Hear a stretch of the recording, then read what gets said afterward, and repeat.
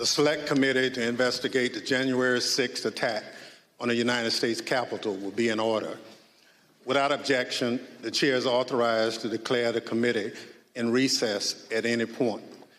Pursuant to House Deposition Authority Regulation 10, the chair announces the committee's approval to release the deposition material presented during today's hearing.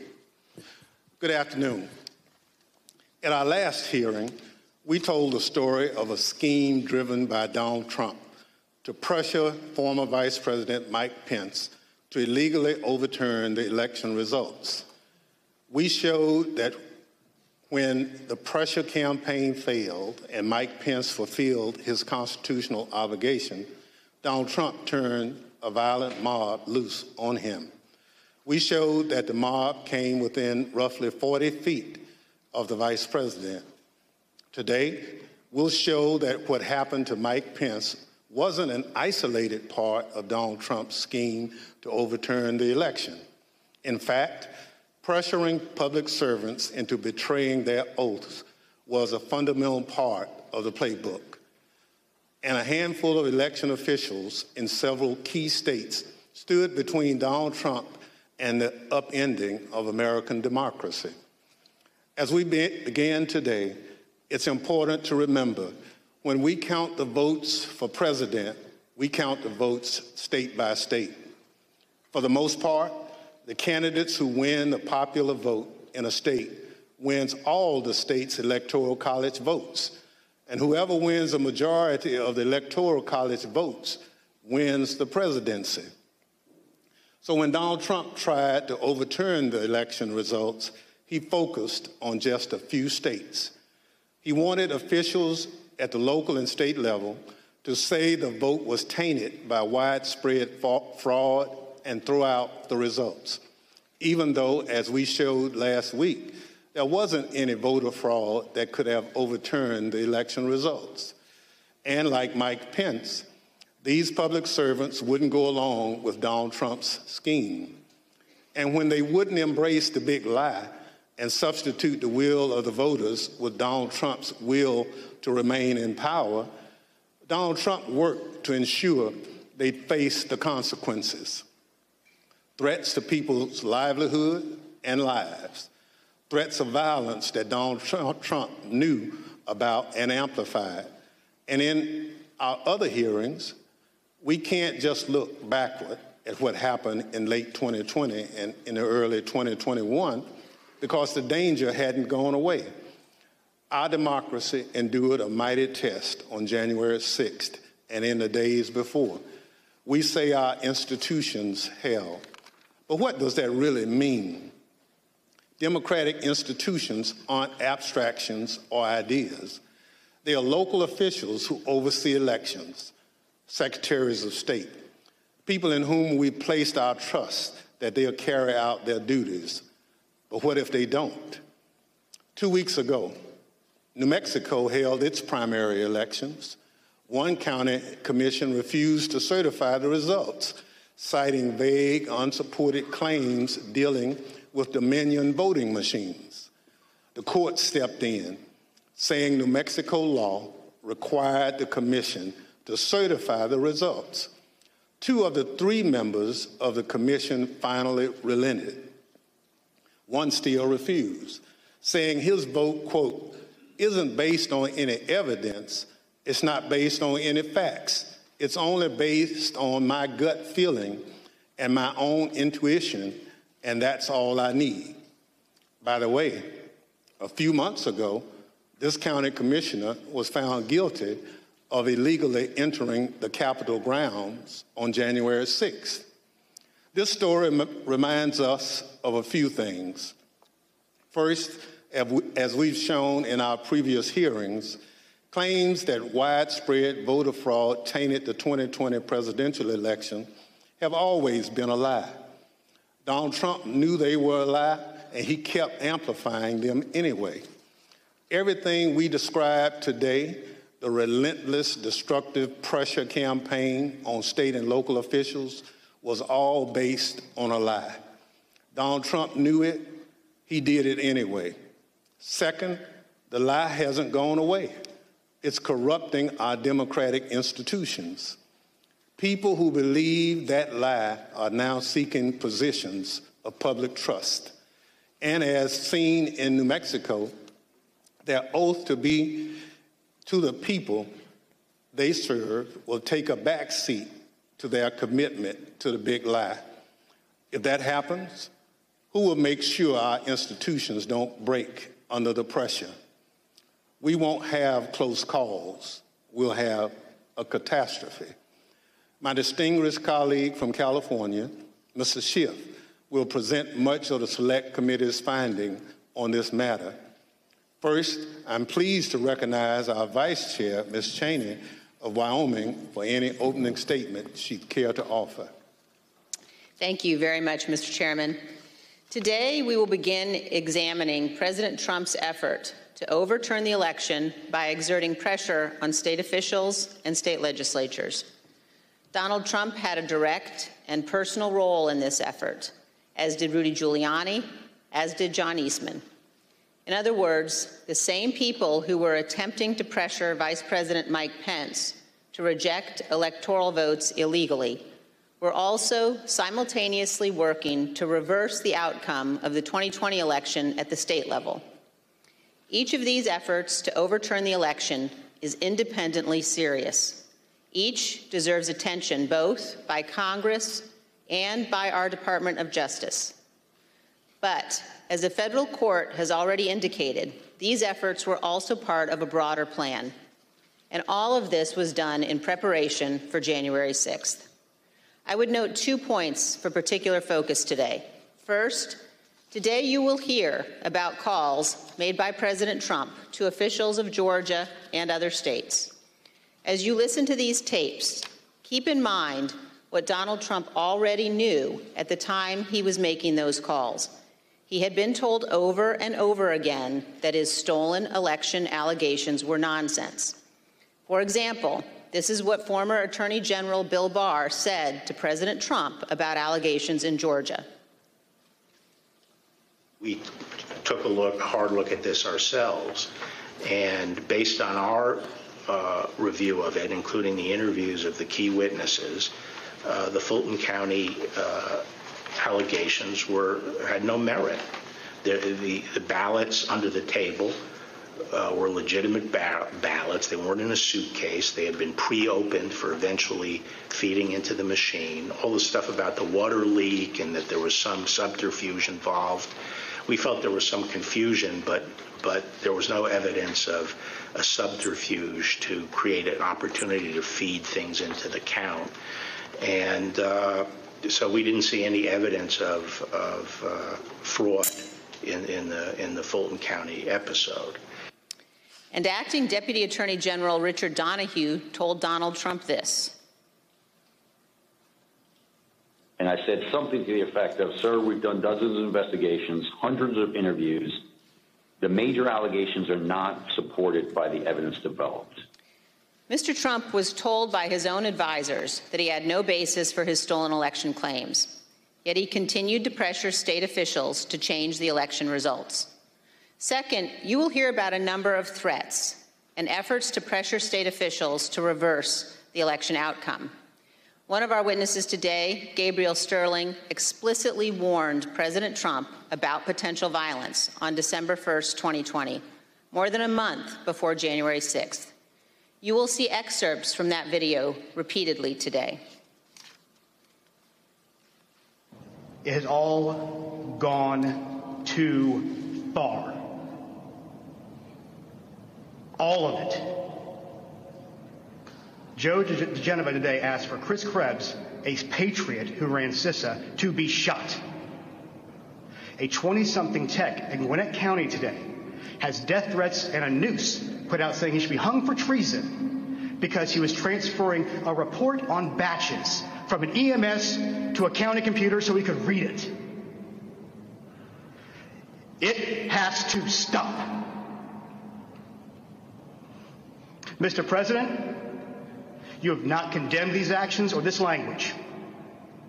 Senators, you have not condemned this language or these actions. This has to stop.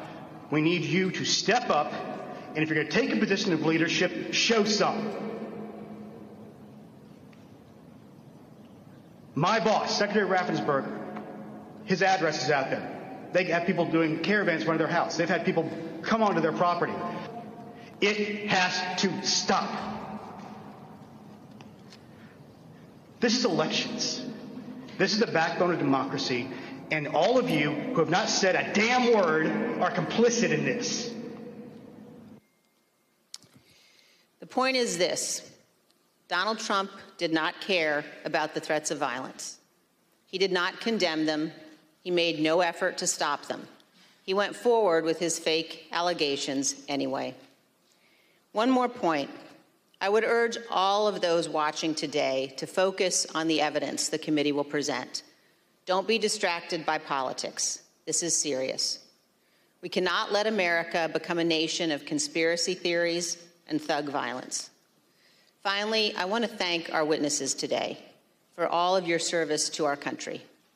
Today, all of America will hear about the selfless actions of these men and women who acted honorably to uphold the law, protect our freedom, and preserve our Constitution. Today, Mr. Chairman, we will all see an example of what truly makes America great. Thank you, Mr. Chairman. I yield back. Without objection, the chair recognizes the gentleman from California, Mr. Schiff, for an opening statement. Thank you, Mr. Chairman and Madam Vice Chair. On November 3, 2020, Donald Trump ran for reelection to the office of the presidency, and he lost. His opponent, Joe Biden, finished ahead in the key battleground states of Arizona, Michigan, Wisconsin, Pennsylvania, Georgia, and elsewhere. Nevertheless, and for the first time in history, the losing presidential candidate fought to hold on to power. As we have seen in previous hearings, he did so through a variety of means. On election day, he sought to stop the counting of the vote, knowing that the millions of absentee ballots elections officials would be counting on election day and thereafter would run strongly against him and deliver a victory to Joe Biden. Next, and when he could not stop the counting, he tried to stop state legislatures and governors from certifying the results of the election. He went to court and filed dozens of frivolous lawsuits making unsubstantiated claims of fraud.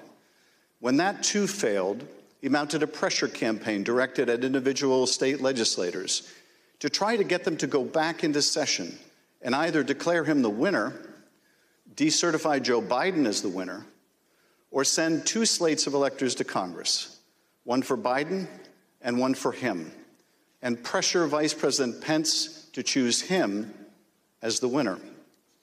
But the state legislatures wouldn't go along with this scheme, and neither would the vice president. None of the legislatures agreed to go back into special session and declare him the winner. No legitimate state authority in the states Donald Trump lost would agree to appoint fake Trump electors and send them to Congress. But this didn't stop the Trump campaign either.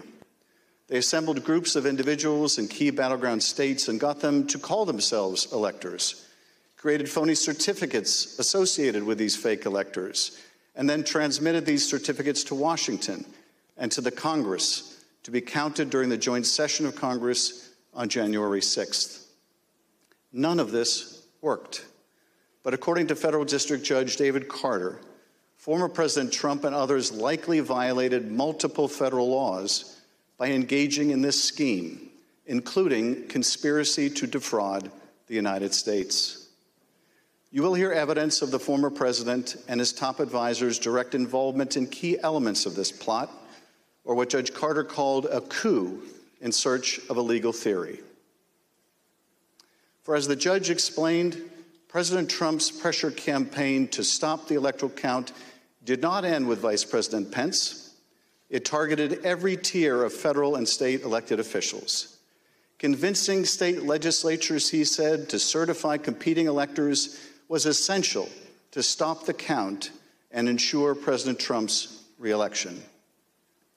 As we have seen in our prior hearings, running through this scheme was a big lie that the election was plagued with massive fraud and somehow stolen. You'll remember what pres the president's own attorney general, Bill Barr, said he told the president about these claims of massive fraud affecting the outcome of the election. And uh, I told him that the stuff that his people were shoveling out to the public were bull- was bullshit. I mean, that the claims of fraud were bullshit. The president's lie was and is a dangerous cancer on the body politic. If you can convince Americans that they cannot trust their own elections, that any time they lose it is somehow illegitimate, then what is left but violence to determine who should govern? This brings us to the focus of today's hearing. When state elections officials refused to stop the count, Donald Trump and his campaign tried to put pressure on them. When state executive officials refused to certify him the winner of states he lost, he applied more pressure. When state legislators refused to go back into session and appoint Trump electors, he amped up the pressure yet again. Anyone who got in the way of Donald Trump's continued hold on power after he lost the election was the subject of a dangerous and escalating campaign of pressure. This pressure campaign brought angry phone calls and texts, armed protests, intimidation, and all too often threats of violence and death. State legislators were singled out. So too were statewide elections officials.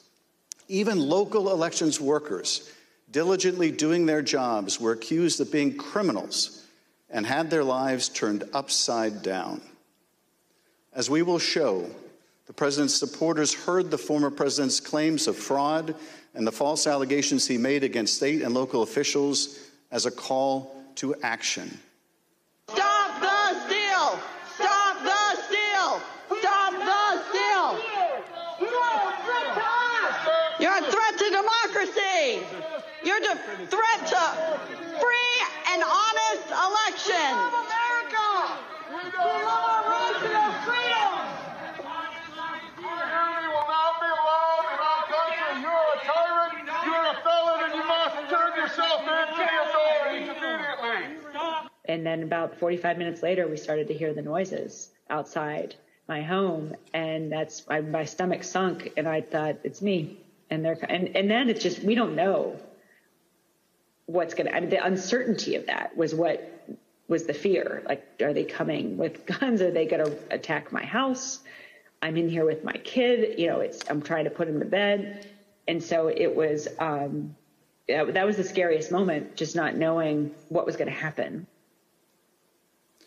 This pressure campaign against state and local officials spanned numerous contested states, as you will see in this video produced by the Select Committee. My name is Josh Roselman. I'm an investigative counsel for the House Select Committee to investigate the January 6th attack on the United States Capitol. Beginning in late November 2020, the president and his lawyers started appearing before state legislators, urging them to give their electoral votes to Trump, even though he lost the popular vote. I represent uh, President Trump along with Jenna Ellis, and um, this is our fourth or fifth hearing. This election has to be turned around because uh, we won Pennsylvania by a lot, and we won all of these swing states by a lot. This was a strategy with both practical and legal elements.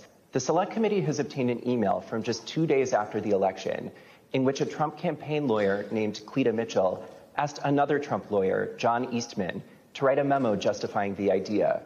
When do you remember this coming up as an option in the post election period for the first time? Right after the election. It might have been before the election.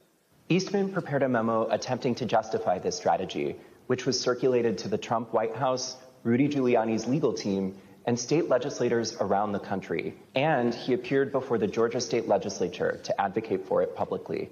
You could also do what the Florida legislature was prepared to do, which is to adopt a slate of electors yourselves. Um, and when you add in the mix of the significant statistical anomalies and sworn affidavits and video evidence of outright election fraud, I don't think it's just your authority to do that, but quite frankly, I think you have a duty to do that to protect uh, the the integrity of, of the election uh, here in Georgia. But Republican officials in several states released public statements recognizing that President Trump's proposal was unlawful. For instance, Georgia Governor Brian Kemp called the proposal unconstitutional, while Arizona House Speaker Rusty Bowers wrote that the idea would undermine the rule of law. The pressure campaign to get state legislators to go along with the scheme intensified when President Trump invited delegations from Michigan and Pennsylvania to the White House. Uh, either you or Speaker Chatfield, did you make the point to the president that you were not going to do anything that violated Michigan law? I believe we did. Uh, whether or not it was the, those exact words or not, but we're, I think that the words that, that uh, I would have more likely used is we were going to follow the law. Nevertheless, the pressure continued. The next day, President Trump tweeted, quote, hopefully the courts and or legislatures will have the courage to do what has to be done to maintain the integrity of our elections and the United States of America itself.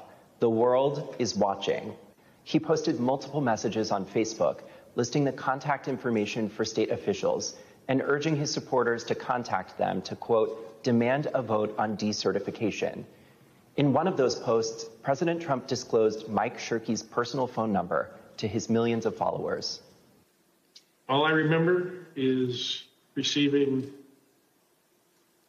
over just shy of 4,000 text messages over a short period of time calling to take action.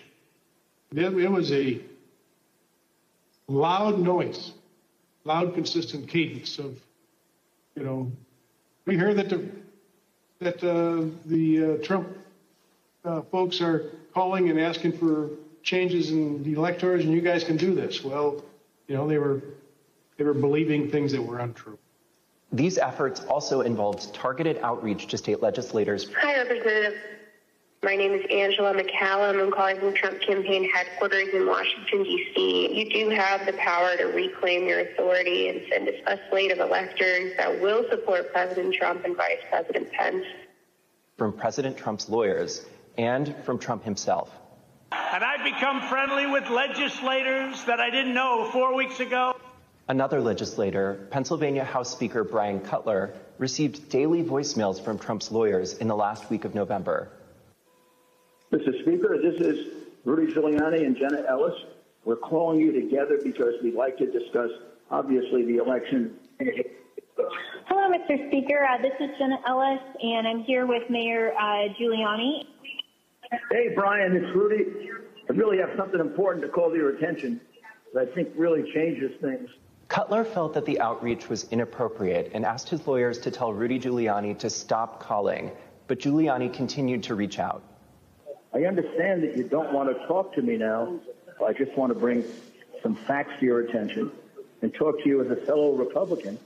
On December 30th, Trump ally Steve Bannon announced a protest at Cutler's home. We're getting on the road and we're going down to Cutler. We're going to start going to offices, and if we have to, we're going to go to homes and we're going to let them know what we think about them. There were multiple protests. I actually don't remember the exact number. Uh, there was at least three, I think, um, outside either my district office or my home. Um, and you're correct, my son, my then 15 year old son, was home by himself uh, for the first one. All of my personal information was doxed online. Uh, it was my personal email, my personal cell phone, my home phone number. Uh, in fact, we had to disconnect our home phone for about three days because it would ring all hours of the night uh, and would fill up with messages.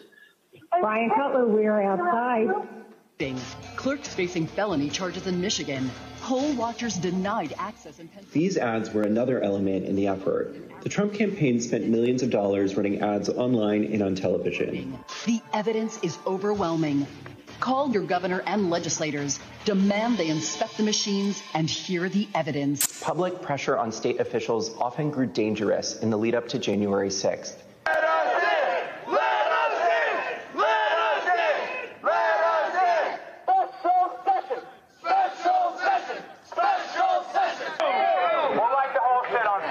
What are we going to do? What you and I do to a state legislator besides kill him? Although we, we should not do that. I'm not advising that, but I mean, what else can you do, right? The punishment for treason is death. The state pressure campaign and the danger it posed to state officials and to state capitals around the nation was a dangerous precursor to the violence we saw on January 6th at the U.S. Capitol. Today, you will hear from Rusty Bowers, the Republican Speaker of the Arizona House of Representatives. He will tell us about his conversations with the President, with Rudy Giuliani and John Eastman, and what the President's team asked of him and how his oath of office would not permit it. You will then hear from Brad Raffensperger, the Republican Secretary of State of Georgia, who Trump directed to, quote, find 11,780 votes that did not exist, but just the exact number of votes needed to overtake Joe Biden. You will also hear from Gabriel Sterling, the chief operating officer, his chief operating officer, about the spurious claims of fraud in the elections in Georgia, and who, responding to a cascading set of threats to his elections team, warned the president to stop, that someone was going to get killed. And you will hear from Wandrea, Wandrea Shea Moss, a former local elections worker in Fulton County, Georgia, about how all of the lies about the election impacted the lives of real people who administer our elections and still do. You will hear what they experienced when the most powerful man in the world, the President of the United States, sought to cling to power after being voted out of office by the American people. The system held, but barely. And the system held because people of courage, Republicans and Democrats, like the witnesses you will hear today, put their oath of, to the country and Constitution above any other consideration. They did their jobs as we must do ours. Thank you, Mr. Chairman, and I yield back. I now welcome our first panel of witnesses. We're joined today by a distinguished legislator from Arizona, Rusty Bowers, who's a Republican Speaker of the Arizona House of Representatives. Mr. Bowers was first elected to the state legislature in 1993 and has served as Speaker since 2019. Welcome, Speaker Bowers. Brad Raffensperger is the 29th Secretary of State of Georgia, serving in this role since 2019. As an elected official and a Republican, Secretary Raffensperger is responsible for supervising elections in Georgia and maintaining the state's public records. Welcome, Mr. Secretary. Gabriel Sterling is the Chief Operating Officer in the Georgia Secretary of State's office. Mr. Sterling was the statewide voting systems implementation manager for the 2020 election in Georgia, responsible for leading the Secretary of State's response to the COVID pandemic and rolling out modernized voting equipment. I will swear in our witnesses. The witnesses will please stand and raise their right hand. Do you swear or inform, affirm on the penalty of perjury that the testimony you're about to give is the truth, the whole truth, and nothing but the truth. So help you God. Thank you. Please be seated. Let the record reflect that the witnesses answered in the affirmative. Speaker Bowers, thank you for being with us today. You're the Speaker of the Arizona House and a self described conservative Republican. You campaigned for President Trump and with him during the 2020 election. Is it fair to say that you wanted Donald Trump to win a second term in office? Please. Yes, sir. Thank you. And is it your understanding that President Biden was the winner of the popular vote in Arizona in 2020? Yes, sir. Thank you.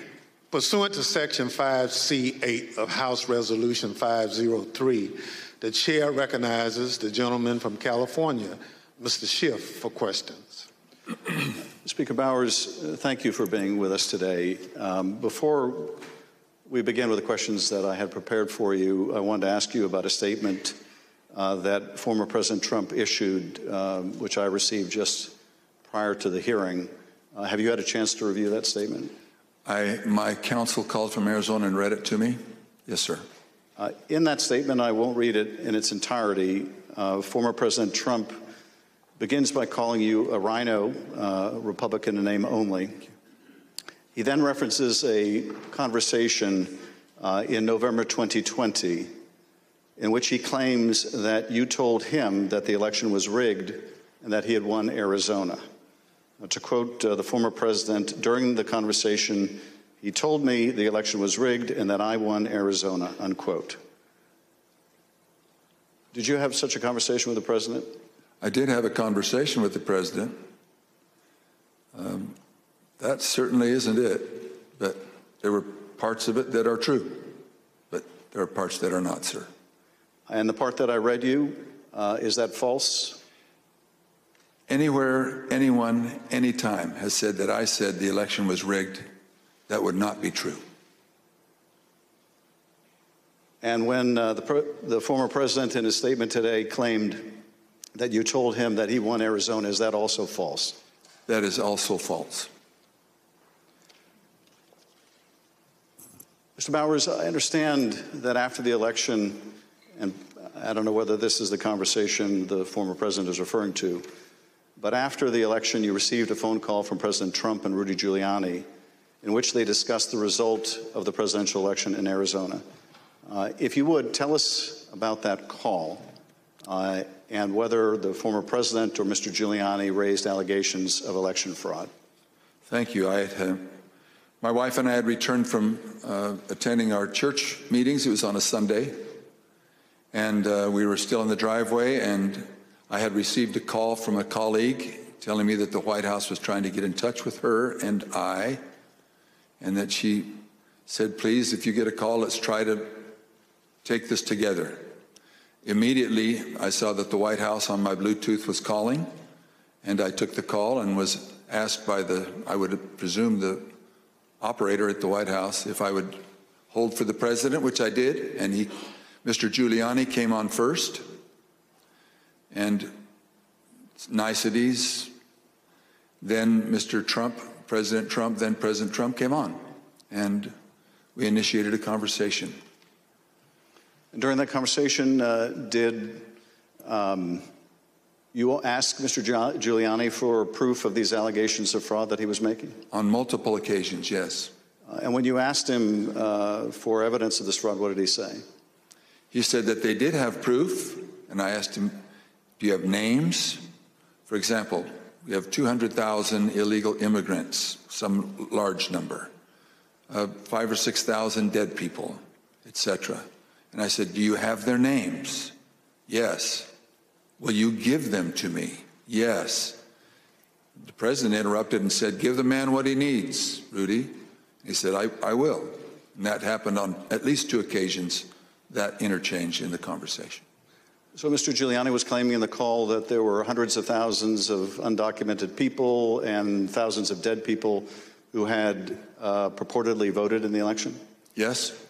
Uh, and you asked him for evidence of that? I did.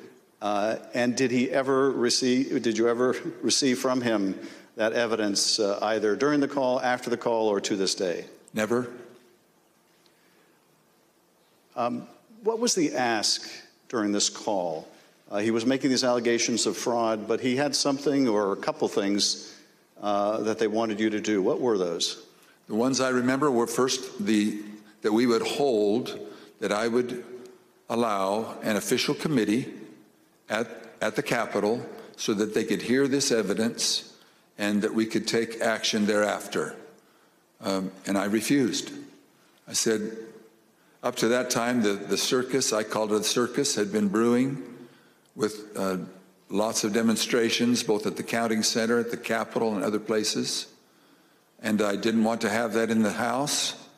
I, I did not feel that the evidence, granted in its absence, merited a hearing, and I didn't want to be used as a pawn.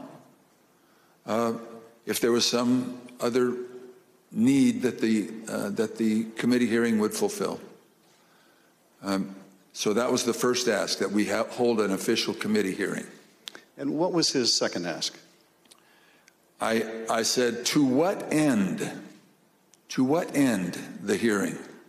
He said, well, we have heard by an official high up in the Republican uh, legislature that there is a legal theory or a legal ability in Arizona that you can remove the um, the electors of President Biden and replace them.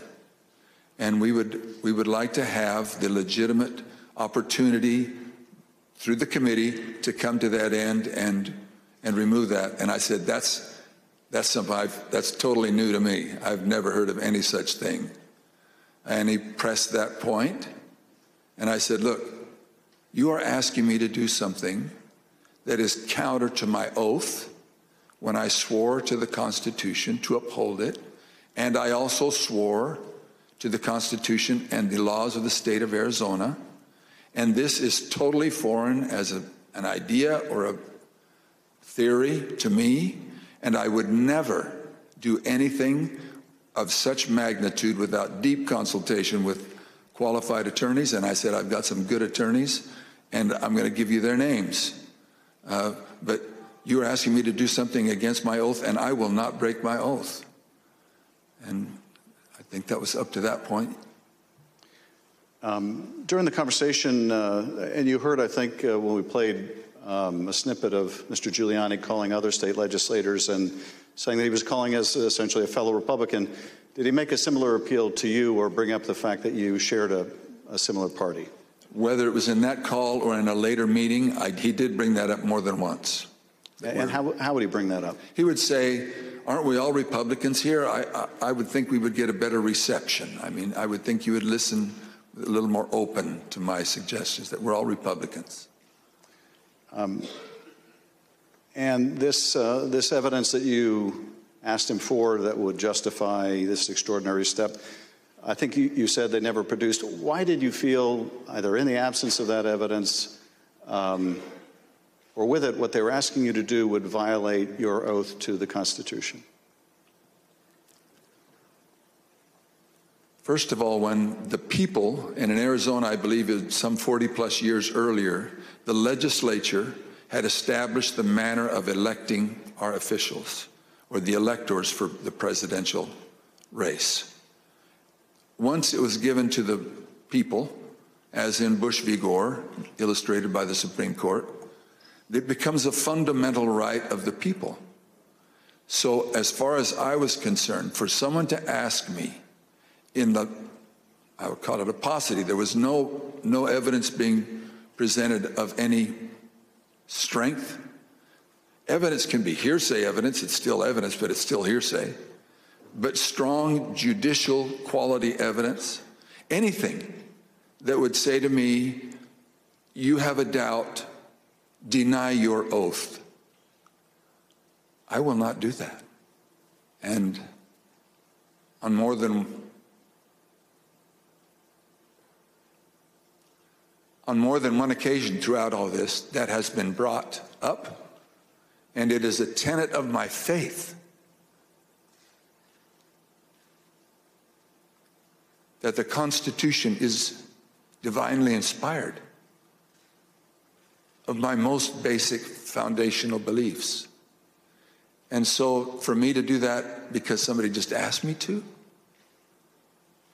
is foreign to my very being. I, I, I will not do it. During that uh, conversation, Speaker Bowers, um, did you ask him if what he was proposing had ever been done before? I did. And what did he say? He said, Well, I'm not familiar with Arizona law or any other laws, but I, um, I, don't, I don't think so. And that also was brought up in other conversations, both with him and with John Eastman and others. Speaker Bowers, I understand that a week after that call, Mr. Giuliani appeared with others associated with President Trump's effort to overturn the result of the election at a purported legislative hearing in a hotel ballroom in Phoenix. Was this an official hearing of the state legislature? It was not. And, and why was it not a real or official hearing of the legislature? A legislator can hold a group meeting, you can call it a hearing. Um, but when they ask me to have an official hearing. We establish it by protocols, public notice, etc. It's typically held at the Capitol, but doesn't need to be. We can authorize a hearing off campus. And in this case, I had been asked on several occasions to allow a hearing. I had denied it, but said, You're free to hold a meeting, any meeting you want, to the person who asked and which he ultimately did. I think he was a little frustrated, but he ultimately did. This uh, this uh, meeting was the same day, I believe, that the governor of Arizona, Doug Ducey, certified Biden as the winner of the presidential election in Arizona. Uh, did you meet with Mr. Giuliani and his associates while they were in Phoenix uh, sometime after that purported legislative hearing at the hotel? Yes, I did, sir. And at that meeting, uh, did Mr. Giuliani raise any specific allegations of election fraud again? Uh, his initial comments were, again, the litany of groups of illegal individuals or people deceased, etc. And he had brought that up. And I wasn't alone in that meeting. There were others, and other members of the Senate uh, aggressively questioned him. And then I proceeded to question him on the proof that he was going to bring me, etc. But he did bring those up, yes. And these other legislatures, uh, legislators were also Republican members of the Senate? They were, yes, sir. Uh, and did they also press him for proof of these allegations? Uh, they pressed him very strongly. Two of them especially, very strongly. Uh, and at some point, uh, did Mr. Giuliani ask one of the other attorneys uh, on his team to help him out with the evidence? He did. He asked Jenna Ellis, who was sitting to his right. One thing was that it was more to the point of was there sufficient evidence or action that we could justify the recalling of the electors? But at that part of the conversation, I know he, he referred to someone else. But he did ask, Do we have the proof to Jenna, Miss Ellis? And she said, Yes.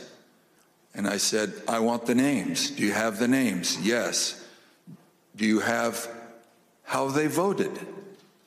We have all the information. I said, Can you get to me that information? Did you bring it with you? She's, she said, No. Both Mr. Giuliani asked her, and I asked generally if they'd brought it with them. She said, No, it's not with me, but we can get it to you. And I said, Then you didn't bring me the evidence, which was repeated in different iterations for some period of time. Uh, at some point, did uh, one of them uh, make a comment that uh, they didn't have evidence, but they had a lot of theories? That was Mr. Giuliani. And, and what exactly did he say, and how that come up? My recollection, he said, We've got lots of theories, we just don't have the evidence. And I don't know if that was a gaffe or maybe he, he didn't think through what he said, but both myself and others in my group, the three in my group and my, my counsel, both remembered that specifically, and afterwards we kind of laughed about it. Uh, and, and, you know, getting back to the ask in that phone call that preceded this meeting, um, he wanted you to uh, have the legislature dismiss the Biden electors and replace them with Trump electors on the basis of these theories of fraud? he did not say it in those exact words, but he did say that he that Arizona law, according to what he understood, that that would be allowed, and that we needed to come into session to take care of that, which initiated a discussion about again what I can legally and not legally do, and I can't go into session in Arizona unilaterally or on my sole prerogative. In this meeting or at any other later time, did anyone provide you with evidence of election fraud sufficient to affect the outcome of the presidential election in Arizona? No one provided me ever such evidence. The Select Committee has uncovered evidence in the course of our investigation that had stopped the Steal protests at state capitals across the country, there were individuals with ties to the groups or parties involved in the January 6th attack on the U.S. Capitol.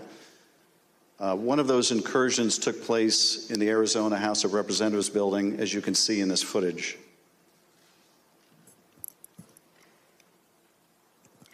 This is previously undisclosed video of protesters illegally entering and refusing to leave the building. One of the individuals prominently shown in this video is Jacob Chansley.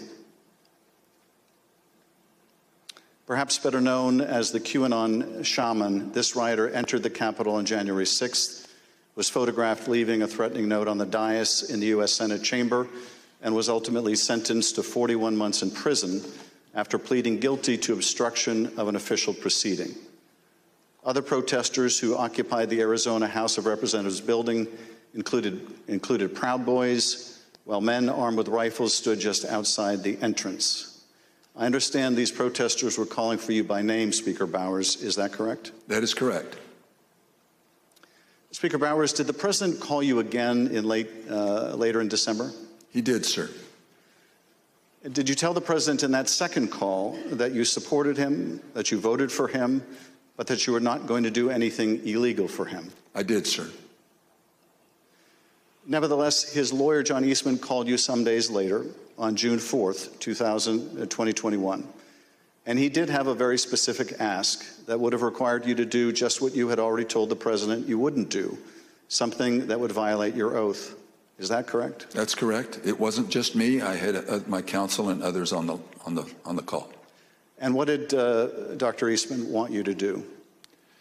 Um, that we would, in fact, vote, take a vote to um, overthrow, or I shouldn't say overthrow, that we would decertify the electors, and that that because we had plenary authority to do so, and he cited Article 2, Section 1, I think it's Clause 2, uh, and uh, said that in his opinion that gave us the authority if there was, I don't recall him saying sufficient evidence, but there was some call or some strong reason to do so that we, or justification to do so that we could do that.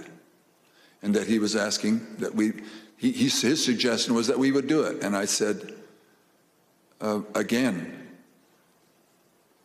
I took an oath for me to take that to do what you do would, would be counter to my oath.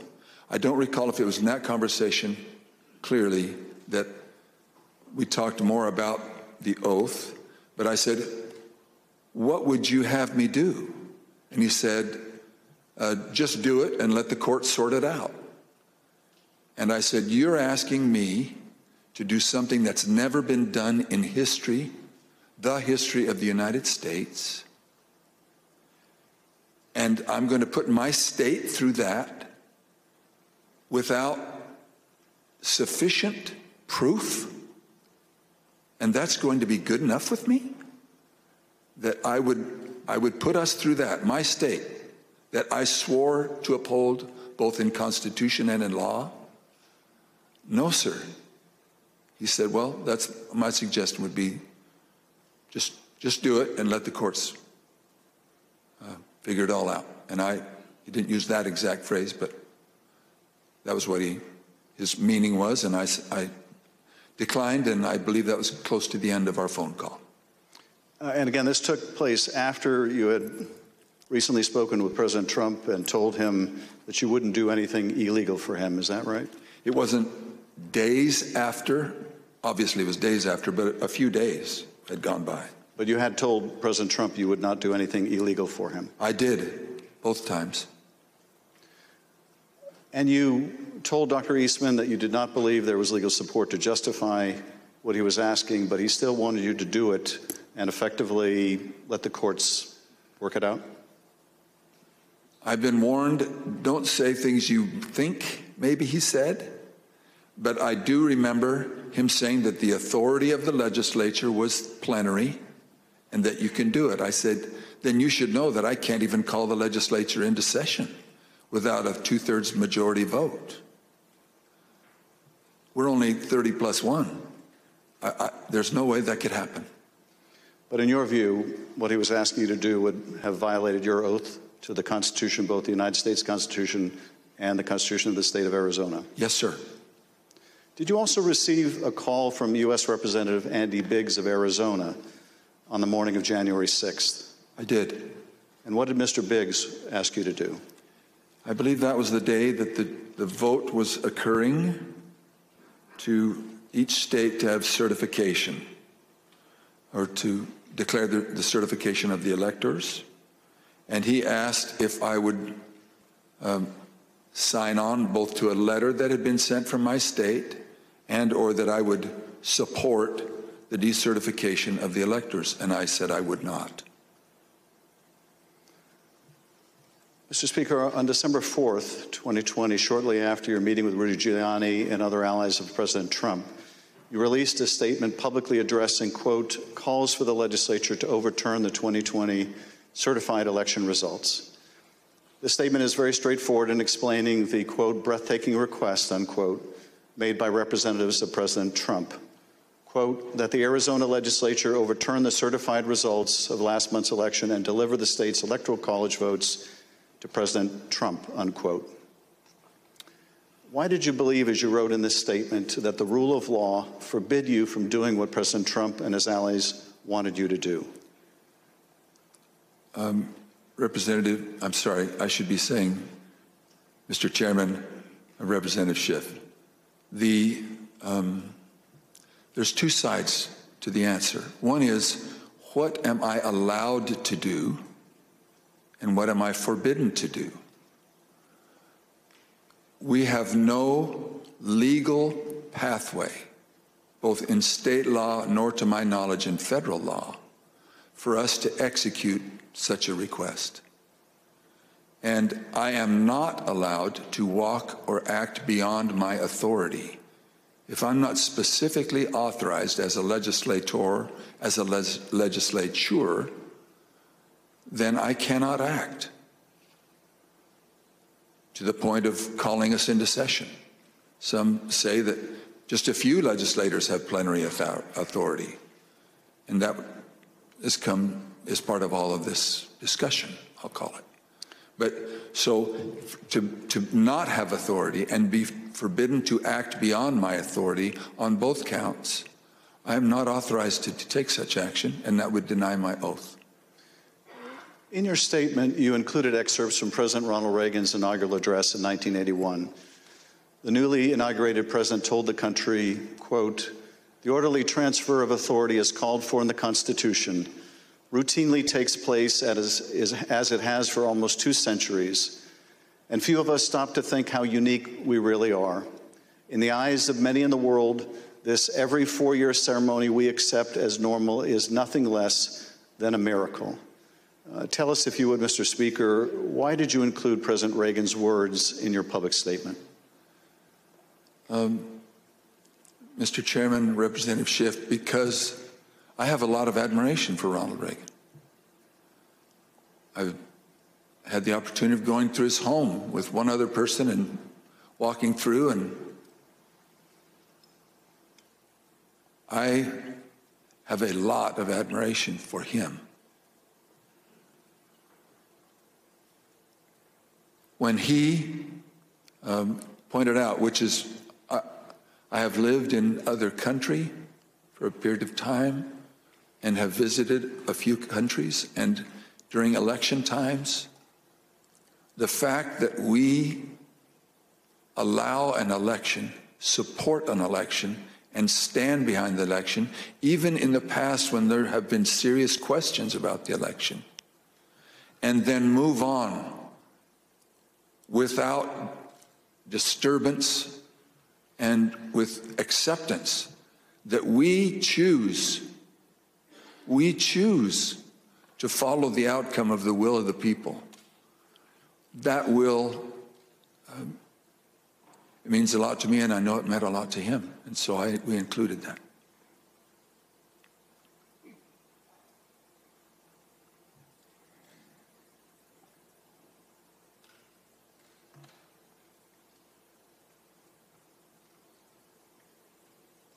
Thank you, Speaker Bowers. I now want to look even more deeply at the fake electors scheme. Every four years, citizens from all over the United States go to the polls to elect their president. Under our Constitution, when we cast our votes for president, we are actually voting to send electors pledged to our preferred candidate to the Electoral College. In December, the electors in each state meet, cast their votes, and send those votes to Washington. There is only one legitimate slate of electors from each state. On the sixth day of January, Congress meets in a joint session to count those votes, and the winner of the Electoral College vote becomes the president.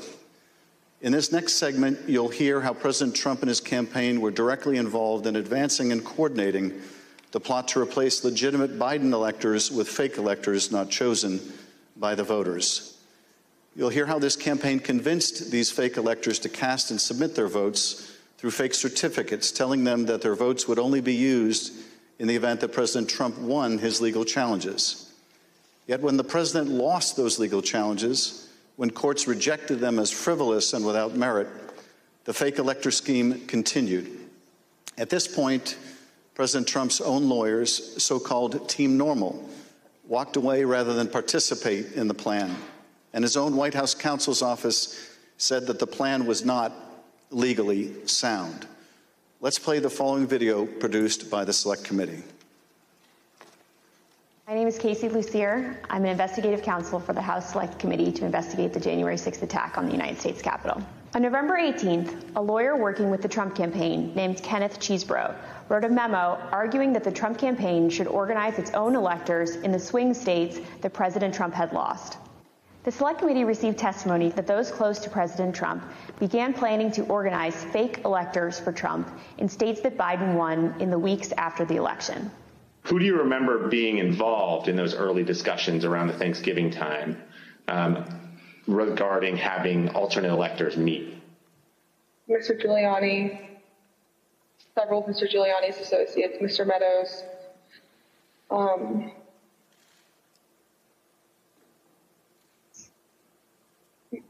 members of Congress, although it's difficult to distinguish if the, if the members I'm thinking of were involved during Thanksgiving or if they were involved as we progress through December. At the president's direct request, the RNC assisted the campaign in coordinating this effort. What did the president say when he called you? Essentially, he turned the call over to Mr. Eastman, who then proceeded to talk about the importance of the RNC helping the campaign gather these contingent electors in case any of the legal challenges um, that were ongoing changed the result of any of the states. I think more just helping them reach out and assemble them. But the my understanding is the campaign did take the lead, and we just were helping them in that in that role. As President Trump and his supporters continued to lose lawsuits, some campaign lawyers became convinced that convening electors in states that Trump lost was no longer appropriate. I just remember I either, I either replied or called somebody saying, unless we have litigation pending that's like in these states, like I don't think this is appropriate or you know this isn't the right thing to do. I don't remember how I phrased it, but um, and I got into a little bit of a back and forth, and I think it was with Ken Chesebro. Um, where I said, all right, you know, you just get after it. Like, I, am out. At that point, um, I had Josh Findlay email Mr. Chesebro politely to say, this is your task. You are responsible for the Electoral College issues moving forward. And this was my way of taking that responsibility to zero. The committee learned the White House counsel's office also felt the plan was potentially illegal. And so, to be clear, did you hear the White House counsel's office say that um, this plan to have alternate electors meet and cast votes for Donald Trump in states that he had lost was not legally sound? Yes, sir. And who was present for that meeting that you remember? Mr. It was in our office. It was Mr. Meadows, Mr. Giuliani, and a few of Mr. Giuliani's associates. The Select Committee interviewed several of the individual fake electors, as well as Trump campaign staff who helped organize the effort. We were just, you know, kind of kind of useful idiots or rubes at that point. You know, a strong part of me really feels that it's just kind of as the road continued and as that was failure, failure, failure, that that that got formulated as what do we have on the table? Um, let's just do it. And, and, now, after what we've told you today about the Select Committee's investigation about the conclusion of the professional lawyers on the campaign staff, Justin Clark, Matt Morgan, and, and Josh Findlay, about their um, unwillingness to participate in the convening of these electors, um, how does that contribute to your understanding of these issues? I'm, I'm angry. I'm angry um, because I think, I think, in a sense, you know no one really cared uh, if if people were potentially putting themselves in jeopardy. Would you have not wanted to participate in this any further as well? I absolutely would not have. had I know that the three main lawyers for the campaign um, that I've spoken to in the past and were leading up were were not on board. Um, yeah, I was told that these would only count if a court ruled in our favor. So that would have been um, using our electors. Um, well, it would have been using our electors in ways that we weren't told about, um, and we wouldn't have supported. Documents obtained by the Select Committee indicate that instructions were given to the electors in several states that they needed to cast their ballots in complete secrecy. Because this scheme involved fake electors, those participating in certain states had no way to comply with state election laws, like where the electors were supposed to meet. One group of fake electors even considered hiding overnight to ensure that they could access the state capitol, as required in Michigan. Did Mr. Norton say who he was working with at all on this effort to have electors meet? He said he was working with the president's campaign. He told me um, that the Michigan Republican electors were planning to meet in the Capitol and hide overnight so that they could fulfill the role of casting their vote in per law in the Michigan uh, uh, chambers. And um, I told him in no uncertain terms that that was insane and inappropriate. In one state, the fake electors even asked for a promise that the campaign would pay their legal fees if they got sued or charged with a crime. Ultimately, fake electors did meet on December 14, 2020, in Arizona, Georgia, Michigan, Pennsylvania, New Mexico, Nevada, and Wisconsin. At the request of the Trump campaign, the electors from these battleground states signed documents falsely asserting that they were the quote, duly elected electors from their state and submitted them to the National Archives and to Vice President Pence in his capacity as President of the Senate. Here is what some of the fake elector certificates look like as compared to the real ones. But these ballots had no legal effect. In an email produced to the Select Committee, Dr. Eastman told a Trump campaign representative that it did not matter that the electors had not been approved by a state authority. Quote, the fact that we have multiple slates of electors demonstrates the uncertainty of either. That should be enough.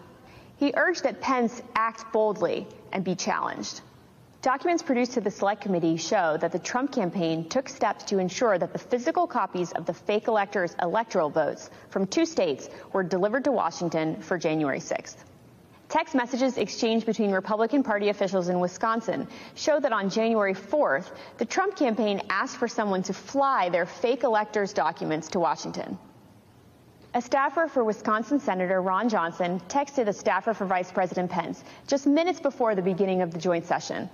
This staffer stated that Senator Johnson wished to hand deliver to the vice president the fake electors' votes from Michigan and Wisconsin.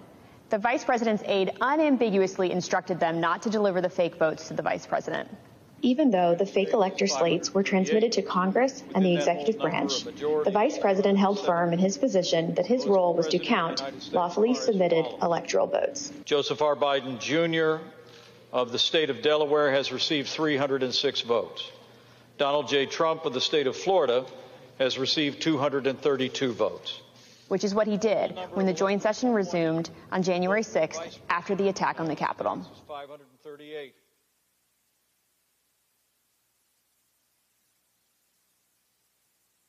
What we just heard in that video was an aide to the White House Chief of Staff telling this committee that the White House counsel's office felt that this fake electors plan was not legally sound. Nevertheless, the Trump campaign went forward with the scheme anyway. Speaker Bowers, were you aware that fake electors had met in Phoenix on December 14th and purported to cast electoral votes for President Trump? I was not. Uh, when you learned that these electors had met and sent their electoral votes to Washington, what did you think? Well, I thought of the book, The Gang That Couldn't Shoot Straight. And I just thought, this is a, this is a tragic parody. Mr. Bowers, I understand that as you flew from Phoenix to Washington yesterday, you reflected upon some passages from a personal journal that you were keeping in December 2020 while all of this was taking place. Uh, with your permission, I'm wondering if you would be willing to share one passage in particular with us. Thank you very much. It is painful to have friends who have been such a help to me turn on me with such rancor. I may, in the eyes of men, not hold correct opinions or act according to their vision or convictions. But I do not take this current situation in a light manner, a fearful manner, or a vengeful manner. I do not want to be a winner by cheating. I will not play with laws I swore allegiance to. With any contrived desire towards deflection of my deep foundational desire to follow God's will as I believe He led my conscience to embrace. How else will I ever approach Him in the wilderness of life, knowing that I ask this guidance only to show myself a coward in defending the course He let me take? He led me to take. Thank That's, you, Mr. Speaker. Those are powerful words. I understand that taking the courageous positions that you did following the 2020 election in defense of the rule of law and protecting the voters of Arizona resulted in you and your family being subjected to protests and terrible threats. Uh, can you tell us how this impacted you and your family? Well, as others in the videos have mentioned, we received um, my secretaries would say in excess of 20,000 emails and tens of thousands of voicemails and texts, which saturated our offices and we were unable to work, or at least communicate. But at home, um, up till even recently, uh, it is the new pattern or a pattern in our lives to worry what will happen on Saturdays because we have various groups come by and they have had um, video panel trucks with videos of me proclaiming me to be a pedophile and a pervert and a corrupt and politician and blaring uh, loudspeakers in my neighborhood and leaving literature both on my property, but arguing and threatening with neighbors and with myself. Um, I, I don't know if I should name groups, but there was a one gentleman that had the three bars on his chest, and he had a pistol and was threatening my neighbor, not with the pistol, but just vocally. When I saw the gun, I knew I had to get close And at the same time, on some of these, we had a daughter who was gravely ill, who was upset by what was happening outside. And my wife, that was a valiant person, very, very strong, quiet, very strong woman.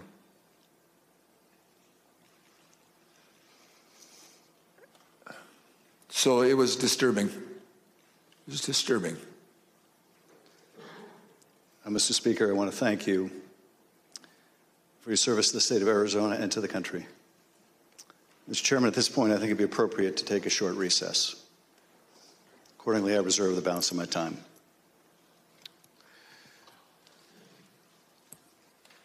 The chair requests that those in the hearing room remain seated until the Capitol Police have escorted members and witnesses from the room. We'll have five minutes, five minute recess. With the gavel, the chairman taking a five minute recess after powerful testimony. I'm here with Hallie Jackson and Katie Tur. Uh, ladies, that was Rusty Bowers, the Republican House Speaker from Arizona, testifying about how he repeatedly stood up to pressure from the President of the United States, from Rudy Giuliani, from Jenna Ellis, others on the President's Stop the Steal committee, trying to pressure him to change the vote, to decertify the Biden electors who had been legally elected. Cheney, Liz Cheney now giving the witness a hug as he walked off. Uh, so Lofgren and other members of the committee.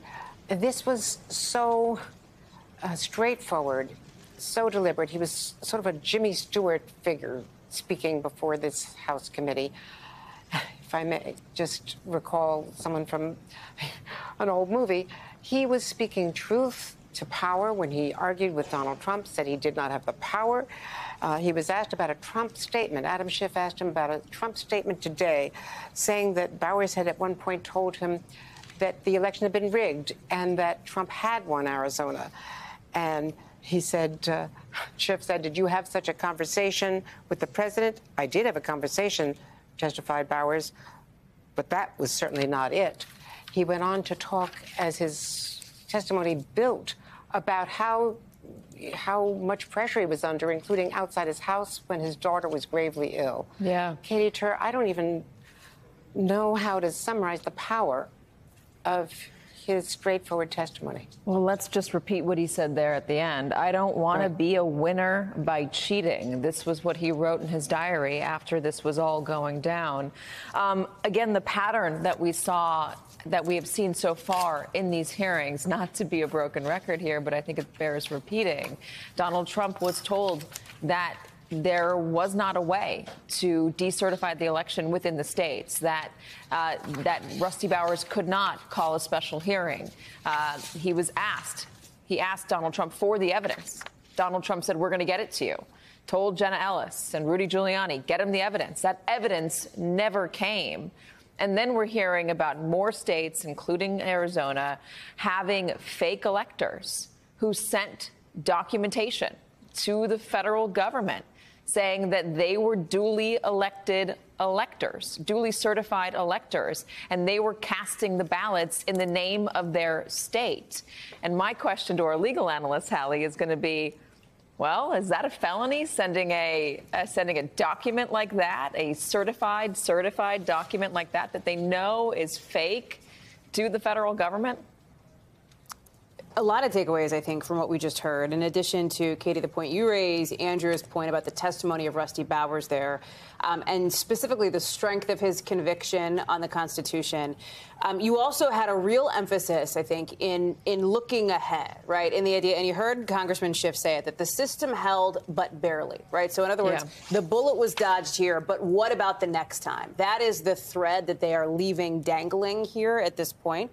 I also want to reference the involvement that we heard, and I, these are new pieces of information from specifically members of Congress, for example, um, people that we know have been extremely supportive of Donald Trump, the former president, his lies about the election.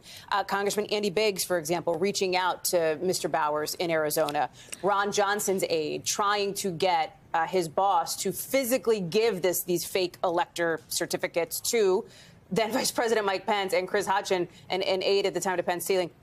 No, you do not. Do not give that to him, right? Some of these new pieces of information we've got. Let me bring in Ali Vitale because, Ali, I wonder if you have any color from what it was like inside the hearing room, particularly at a couple of moments where Mr. Bowers was visibly, audibly emotional, seeking to compose himself before before talking again. Specifically, when it came to his faith um, and his faith in the Constitution, and and how this has affected his family on a personal level, Ali.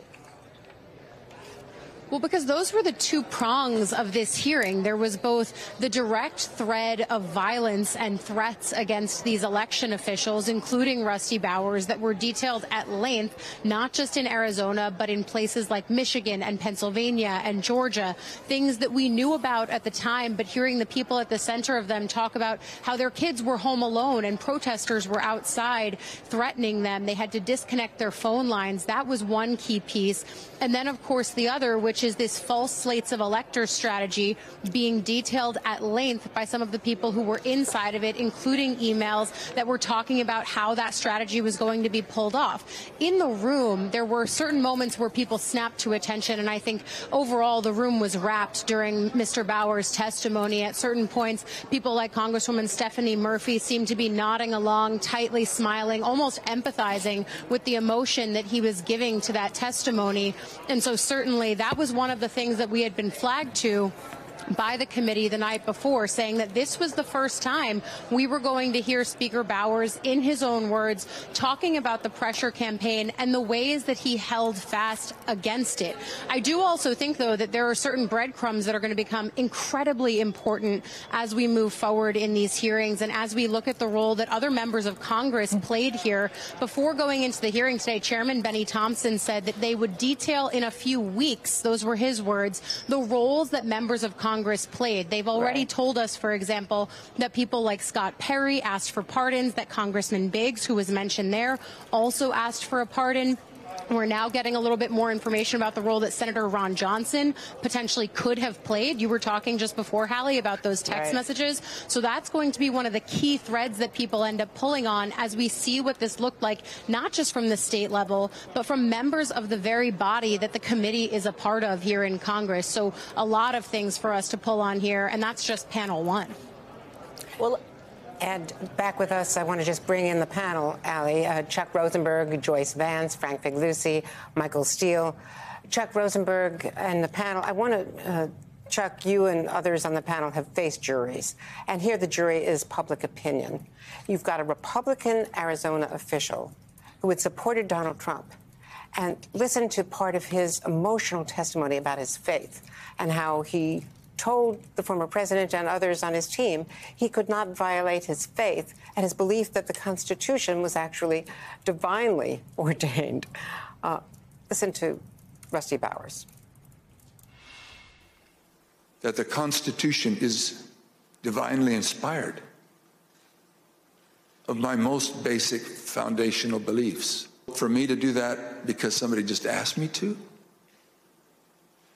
is foreign to my very being. I, I, I will not do it. Chuck, if you were presenting this to a jury, how powerful is this witness? Oh, he's extraordinarily powerful, Andrea. You know, we have a tendency, and I think it's a mistake, to demonize people with whom we disagree. And whatever your party, whatever your affiliation, whatever your politics, I mean, thank goodness that there are people uh, in both parties like Rusty Bowers, principled, dignified. His oath meant more to him than pleasing the person in power. I mean, he supports Donald Trump. He voted for him. Maybe he would again. But if you're an Arizonan, whether or not you're a Republican, whether or not you live in this man's district, whether or not you voted for him or donated to him, you're lucky that you have someone like that running the Arizona House of Representatives. Again, um, he's a very compelling, thoughtful, dignified, principled man we don't have to agree with people to admire them. And I certainly admire Rusty Bowers. So, so far, we don't have the audio of the phone call that Bowers had with Donald Trump, like we have the audio of the phone call. I hope you guys got that. I hope my audio was okay on. If it wasn't, we don't have the audio of the phone call between Bowers and Donald Trump, like we have the audio uh, of Donald Trump and Brad Raffensperger. Uh, but, Joyce, this is another example of a direct connection between Donald Trump and an elections or and, and an official uh, having a conversation about what is possible and what is not possible. And that official saying, I have to abide by the laws of my state. I have to abide by the Constitution. If you have proof of fraudulent votes, these dead voters that you say you have, if you have proof that there were illegal immigrants voting, send me the names and I will run it down. He was never sent those names. You know, on the first call, Trump says, get the man what he needs, and he never gets it. Of course, it's possible that Trump could say, well, I was just listening to my lawyers and they told me that there was a path in Arizona, a path forward. But Speaker Bowers is very clear about something. He's asked, Did you tell Trump that there was fraud in Arizona? And as you've already said, Katie, he says, That wasn't my conversation. In other words, Trump is lying about this. So why would Trump lie? About that, if he really believed that what they were doing was righteous, if he believed that they had won in Arizona and that there was fraud, there would be no need for him to lie about what Speaker Bowers said to him. Um, is there a he said, she said there, though? There is a he said, she said. He said, he said in this case. He said, he said. as, as Chuck points out, though, who are you going to believe in the head to head matchup here? If you're a jury in a courtroom, you're going to believe Rusty Bowers.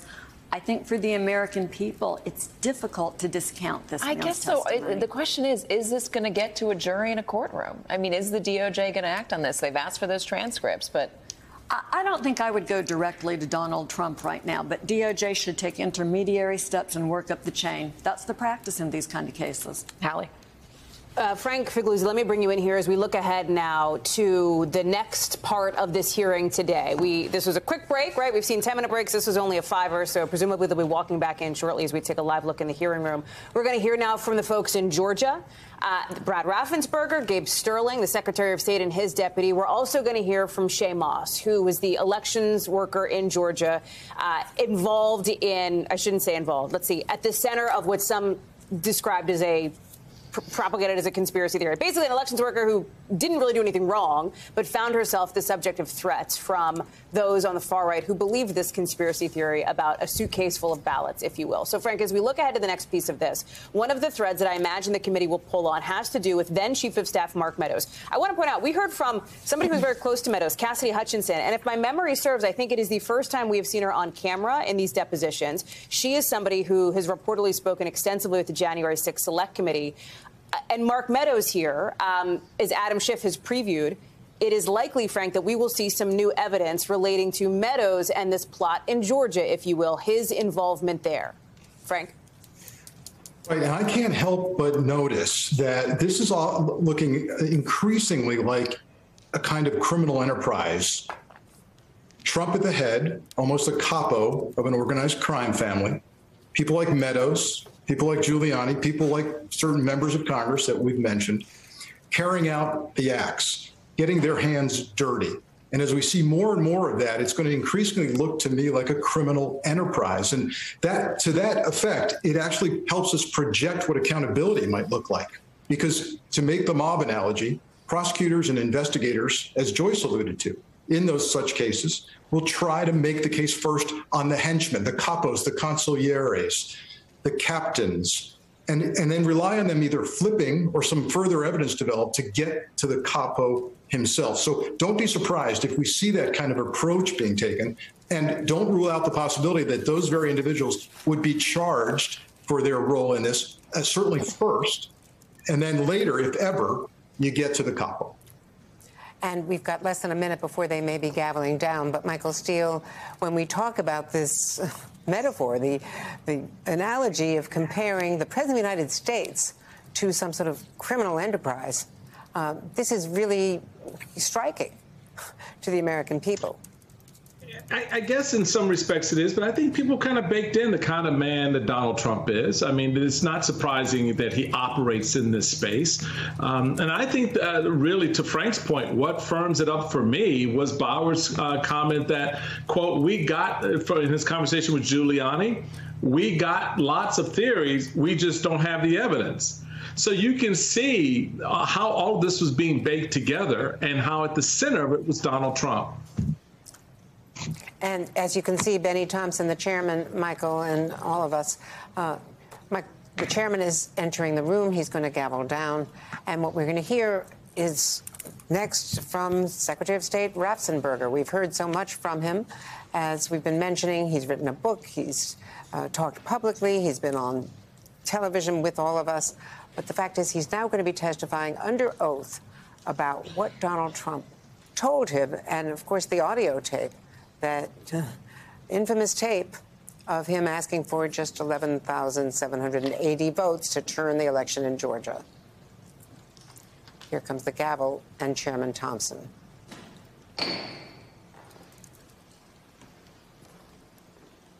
The committee will be in order. President Trump's pressure campaign against state officials existed in all the key battleground states that he lost but the former president had a particular obsession with Georgia. Here is the president on the afternoon of January 6th, after his own attorney general warned him that the claims you are about to hear are patently false. They should find those votes. They should absolutely find that. Just over 11,000 votes, that's all we need. They defrauded us out of a win in Georgia and we're not going to forget it. So, the state of Georgia is where we will turn our attention to next. I want to emphasize that our investigation into these issues is still ongoing. As I stated in our last hearing, if you have relevant information or documentary evidence to share with the Select Committee, we welcome your cooperation but we will share some of our findings with you today. Secretary Raffensperger, thank you for being here today.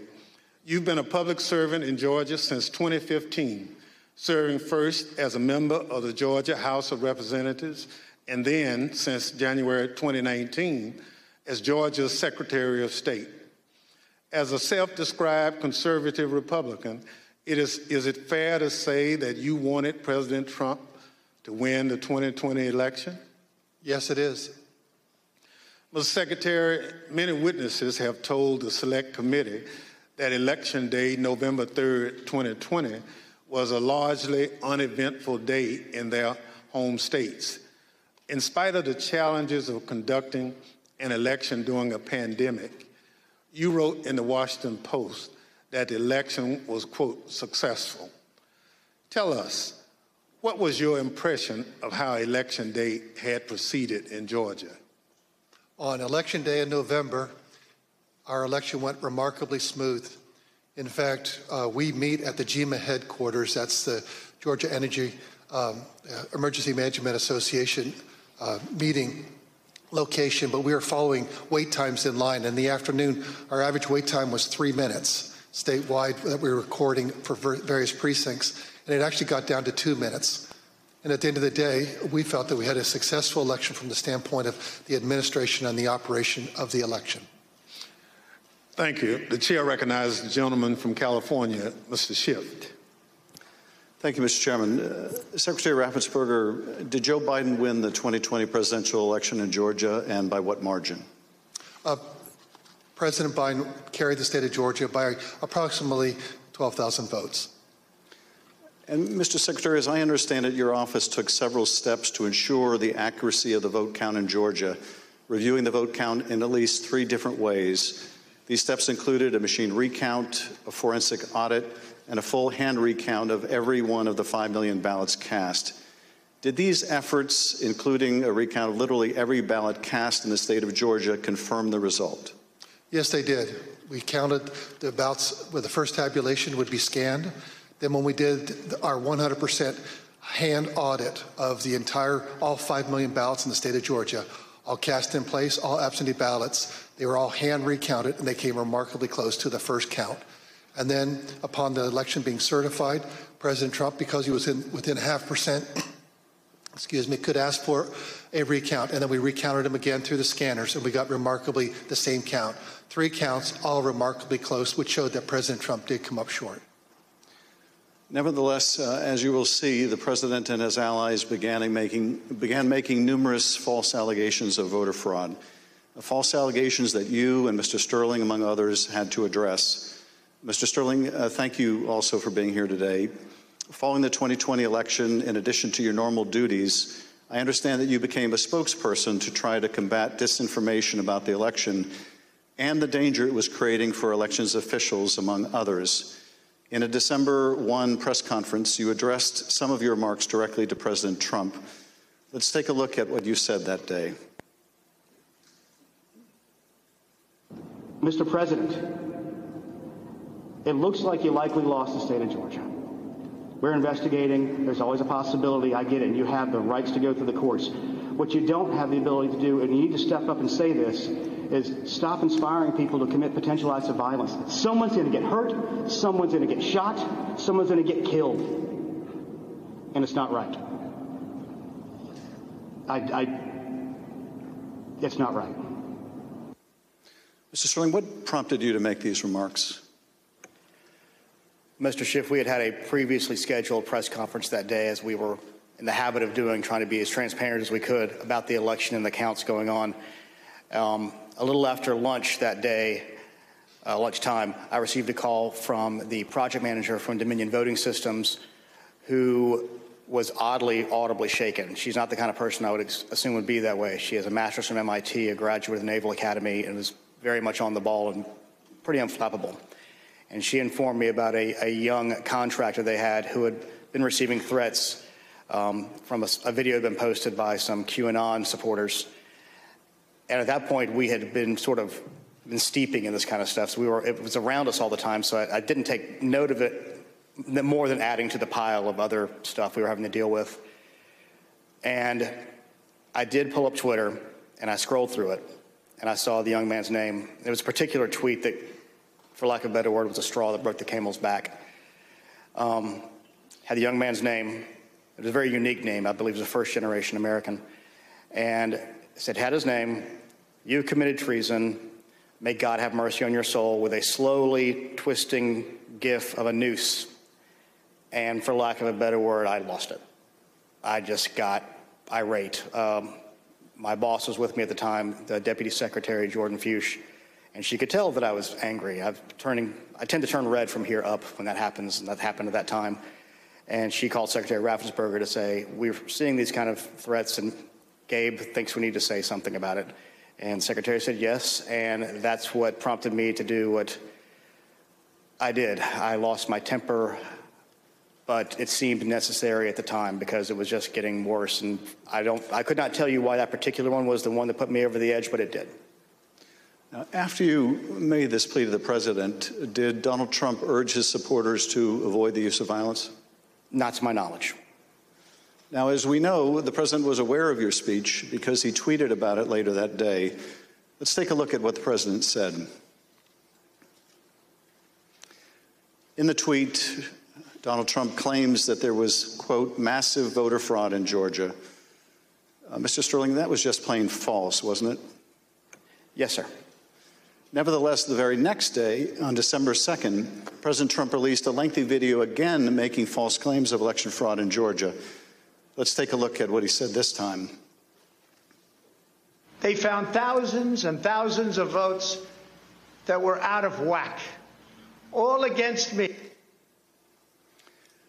In fact, the day after Donald Trump released that video, so now we're talking just two days after the emotional warning that you gave that someone's going to get killed, representatives of President Trump appeared in Georgia, including Rudy Giuliani, and launched a new conspiracy theory that would take on a life of its own and threaten the lives of several innocent election workers.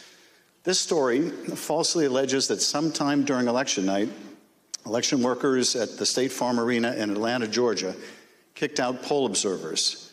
After the observers left, the story goes, these workers pulled so called suitcases of ballots from under a table and ran those ballots through counting machines multiple times. Completely without evidence, President Trump and his allies claimed that these suitcases contained as many as 18,000 ballots, all for Joe Biden. None of this was true. But Rudy Giuliani appeared before the Georgia State Senate and played a surveillance video from State Farm Arena, falsely claiming that it showed this conspiracy taking place. Here's a sample of what Mr. Giuliani had to say during that hearing. And when you look at what you saw on the video, which to me was a smoking gun, powerful smoking gun, well, I don't don't have to be a genius to figure out what happened. Mm-hmm. And I, I don't have to be a genius to figure out that those votes are not legitimate votes. You don't put legitimate votes under a table. No. Wait until you throw the opposition out and in the middle of the night count them. We would have to be fools to think that. President Trump's campaign amplified Giuliani's false testimony in a tweet pushing out the video footage. Giuliani likewise pushed out his testimony on social media. As you can see in this tweet, Mr. Giuliani wrote that it was, quote, now beyond doubt, unquote, that Fulton County Democrats had stolen the election. Later in this hearing, we'll hear directly from one of the election workers in this video. About the effect these lies had on her and on her family. Mr. Sterling, did the investigators in your office review the entire surveillance tape from the State Farm Arena on election night? Uh, they actually reviewed approximately 48 hours going over the time period where action was taking place at the um, counting center at State Farm Arena. And what did the tape actually show?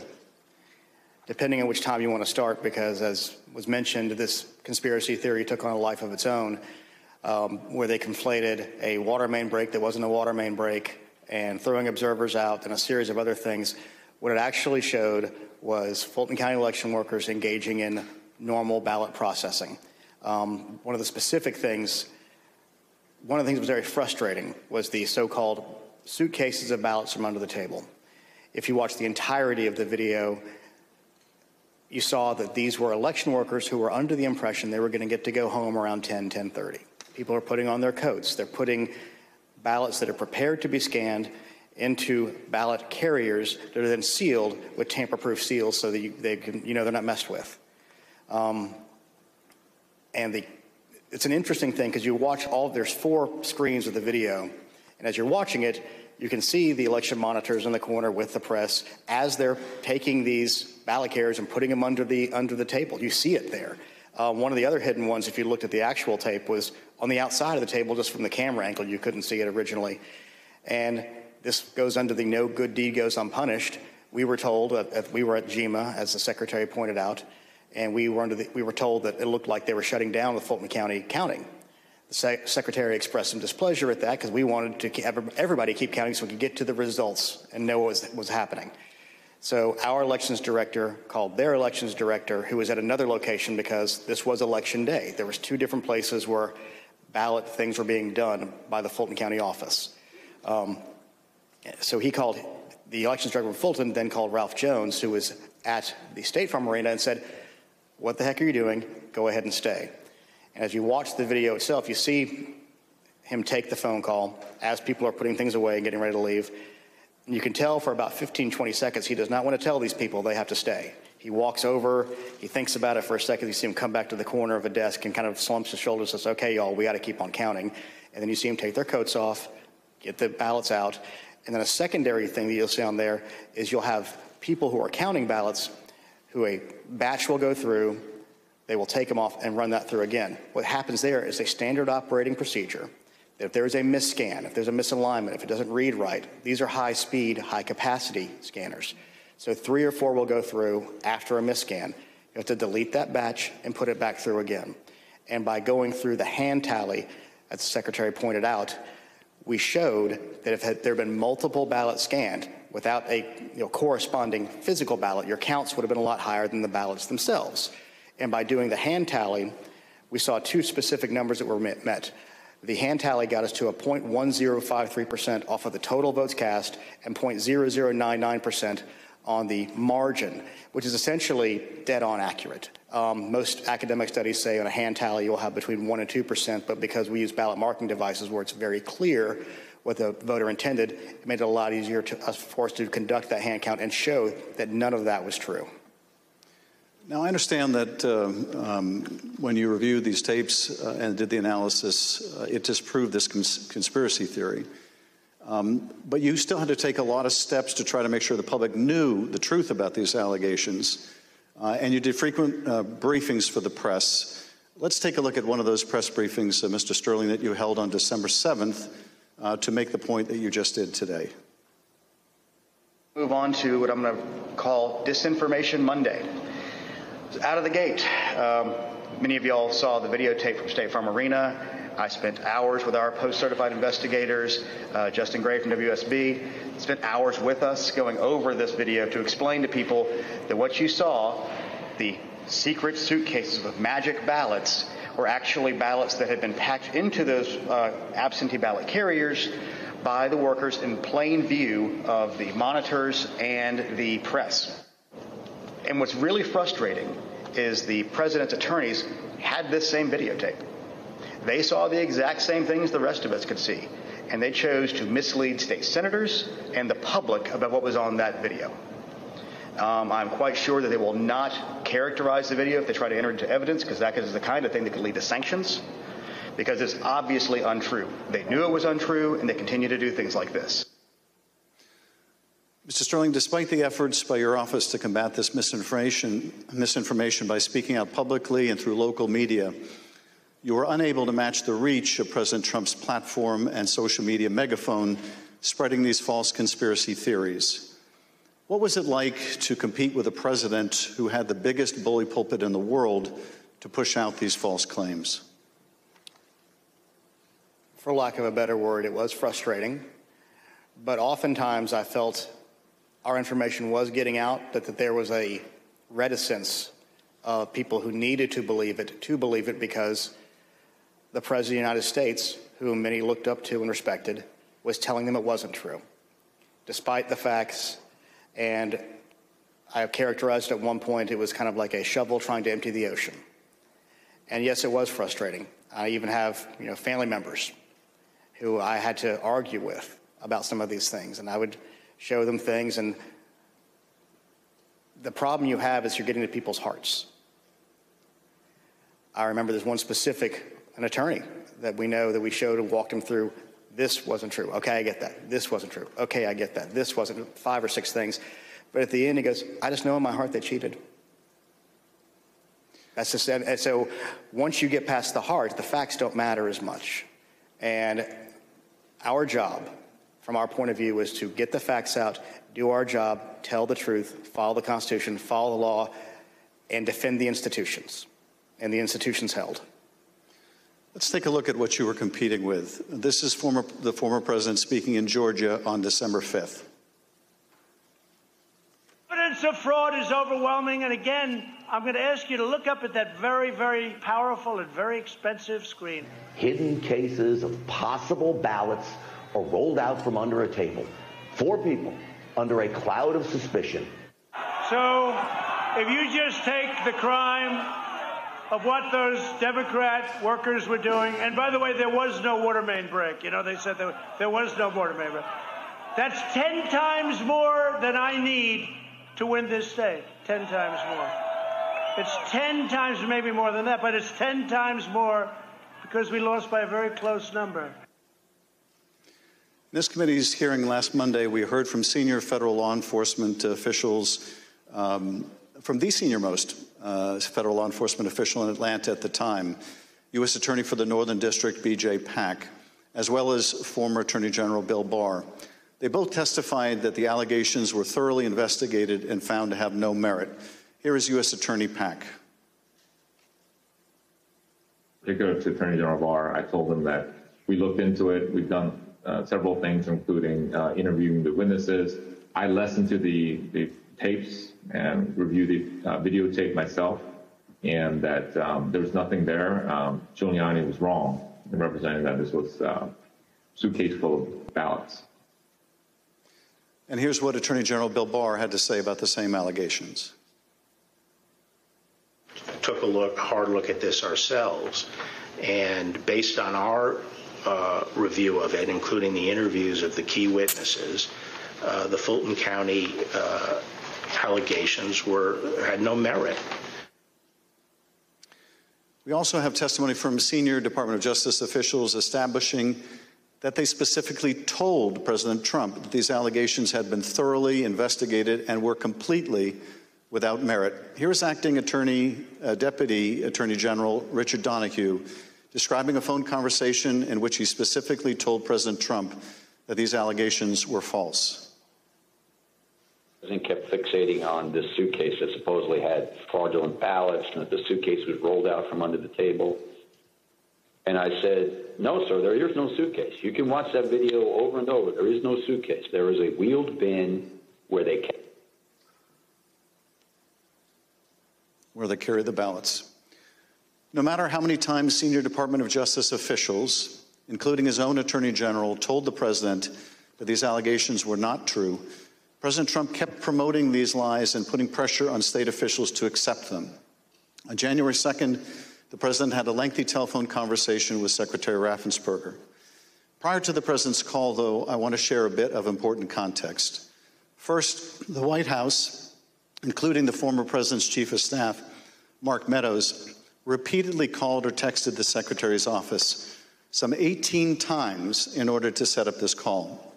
They were quite persistent. Second Chief of Staff Mark Meadows took the extraordinary step of showing up at a signature audit site in Georgia, where he met with Secretary Raffensperger's chief investigator, Frances Watson, who was supervising that audit process. Behind me is a photograph from that visit. Third, the day after Meadows' Georgia visit, he set up a call between President Trump and Frances Watson. On the call between President Trump and Georgia investigator Frances Watson, the former president continued to push the false claim that he'd won the state of Georgia. Let's listen to that part of the conversation. You know, it's just you have the most important job in the country right now because if we win Georgia, first of all, if we win, you're going to have two wins. So you're not, they're not going to win right now. You know, they're down because the people of Georgia are so angry at what happened to me. They know I won, won by hundreds of thousands of votes. It wasn't close. And in this next clip, he told this state law enforcement official that she'd be praised if she found the right answer. Hopefully, uh, you know, I will. When when the right answer comes out, you'll be praised. I mean, I don't know why. You know, they they made it so hard. They, they will be praised. People will say, "Great," because that's what it's about. That ability to check and to and to make it right. Because everyone knows it's wrong. There's just no way. Mr. Raffensperger, I know you weren't on this call, but, uh, but that you have listened to it. President Trump didn't win by hundreds of thousands of votes in Georgia, did he? No, he did not. Uh, I've been traveling through the state of Georgia for a year now, and uh, simply put, in a nutshell, what happened in fall of 2020 is that 28,000 Georgians skipped the presidential race, and yet they voted down ballot in other races. And the Republican congressman ended up getting 33,000 more votes than President Trump. And that's why President Trump came up short. Uh, thank you, Mr. Secretary. Uh, the president uh, on this call doesn't stop here. Uh, let's listen to another part of the conversation between President Trump and Ms. Watson.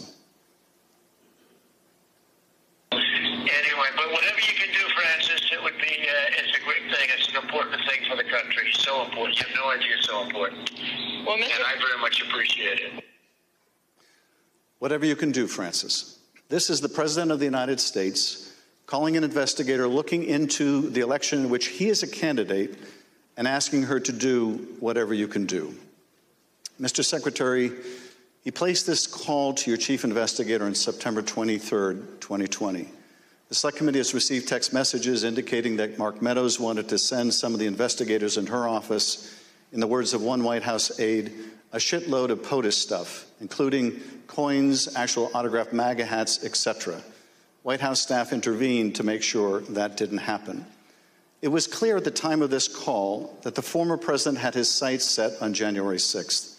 Listen to this portion when he told Frances Watson about a very important date. Do you think they'll be working after Christmas and keep it going fast? Because, you know, we have that date of the 6th, which is a very important date. That important date, of course, was the joint session of Congress, where Georgia's electoral votes would be counted for Joe Biden. A little, a little over a week after this call to Frances Watson, the president was finally able to speak with you, Secretary Raffensperger. Bear in mind, as we discuss this call today, that by this point in time, early January, the election in Georgia had already been certified. But perhaps more important, the President of the United States had already been told repeatedly by his own top Justice Department officials that the claims he was about to make to you about massive fraud in Georgia were completely false. Mr. Secretary, the call between you and the President lasted 67 minutes, over an hour. We obviously can't listen to the entire recording here today, although it is available on the Select Committee's website. But we'll listen to selected excerpts of it now so that we can get your insights. Let's begin with the President raising the thoroughly debunked allegations of suitcases of ballots. In an official uh, voter box, they were in what looked to be uh, uh, suitcases or trunks, uh, suitcases, but they weren't in uh, in voter boxes. Uh, the minimum number it could be, because we watched it and they they watched it certified, uh, in slow motion, instant replay, if you can believe it, but had slow motion and it was magnified many times over. And the minimum it was was 18,000 ballots, all for Biden. These are the allegations that the Department of Justice, the Attorney General, the Georgia Bureau of Investigation, and your office had all said were false. Is that right? Correct. And even more importantly, when B.J. Pak resigned as U.S. Attorney of the Northern District, President Trump appointed as acting U.S. Attorney of the Northern District Bobby Christine. And Bobby Christine looked at that, and he was quoted in the AJC that he found nothing. And he dismissed that case early also. Thank you, Mr. Secretary. The President references suitcases or trunks. Uh, Mr. Sterling, were the objects seen in these videos suitcases or trunks, or were they just the ordinary containers that are used by election workers? They're standard, standard ballot carriers that allow for seals to be put on them so they're tamper proof. Uh, and finally, the President claims that there was a minimum of 18,000 ballots somehow smuggled in, all for Biden. I take it, uh, gentlemen, that that was also categorically false? There's no, A, there's no physical way he can know who those ballots were for, but secondarily, we had Fulton County for years has been an issue in our state when it comes to elections. So we had they had a very difficult time during the primary, in large part because of COVID. So we had put them under a consent decree. The secretary got negotiated where we had a monitor um, on site, and his name is Carter Jones, and he took a notation he had gone from State Farm to the English Street warehouse to look at election day activities, but before he left the State Farm Arena, he noted how many ballots had been counted on each one of the machines. And when he came back after we found out they were working again, he, he took note again when they closed. And I believe the final number was something around 8,900 total ballots were scanned from the time he left to the time about 12:30 or 1 o'clock in the morning. So way below 18,000. Uh, let's play the next clip. I heard it was close. I said, there's no way. But they dropped a lot of votes in there late at night. You know that, Brett. Mr. Secretary, did somebody drop drop a lot of votes there late at night? No. Uh, I believe that the president was referring to some of the counties when they would upload, but the ballots had all been accepted and had to be accepted by state law by 7 p.m. So there were no additional ballots accepted after 7 p.m. Let's play the next clip in which uh, the president makes claims about so called dead voters.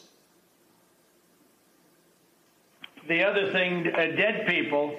So dead people voted. And I think uh, the, the number is in the pro- uh, close to 5,000 people. And they went to uh, obituaries, they went to uh, all sorts of methods to come up with an accurate number. And a minimum is close to about 5,000 voters. Mr. Secretary, did your office investigate whether those allegations were accurate? Did 5,000 dead people uh, in Georgia vote? Uh, no, it's not accurate. And actually, in their lawsuits, they allege 10,315 dead people. Uh, we found two dead people when I wrote my letter to Congress that stated January 6th. And subsequent to that, we found two more. That's one, two, three, four people, not 4,000, but just a total of four, not 10,000, not 5,000. Let's play the next clip. And there's nothing wrong with saying that, you know, uh, that you've recalculated because uh, the 2,236 and absentee ballots, I mean, they're, they're all exact numbers that were, were done by accounting firms, law firms, etc. And even if you cut them in half, cut them in half, and cut them in half again, it's more votes than we need. Mr. Secretary, is there any way that you could have lawfully changed the result in the state of Georgia and somehow explained it away as a recalculation? No, the numbers are the numbers. The numbers don't lie. We had many allegations and we investigated every single one of them. In fact, I challenged my team did we miss anything? They said that there was over 66,000 underage voters. We found that there was actually zero. You can register to vote in Georgia. When you're 17 and a half, you have to be 18 by election day. We checked that out, every single voter. They said that there was 2,423 non-registered voters. There was zero. They said that there was 2,056 felons. We identified less than 74 or less that were actually still in felony sentence. Every single allegation we checked, we ran down the rabbit trail to make sure that our numbers were accurate. So there's no way you could have recalculated it except uh, by fudging the numbers? The numbers were the numbers, and we could not recalculate because we had made sure that we had checked every single allegation. And we had many investigations. We had nearly 300 from the 2020 election. Mr. Secretary, you tried to push back when the president made these unsupported claims, whether they were about suitcases of ballots uh, or that Biden votes were counted three times. Let's play the next clip. President, they did not put that. We we com- we did an audit of that, and we proved conclusively that they were not scanned three times. Yeah, Mr. President, we'll send you the link from WSB that does. I, I don't care about a link. I don't need it. I have a, a have, much, Brad. I have a much better link. You told the president you would send him a link from WSB, which I understand is a local television station that had a uh, unedited video from the State Farm Arena. But the president wasn't interested in that. He said he had a much better link.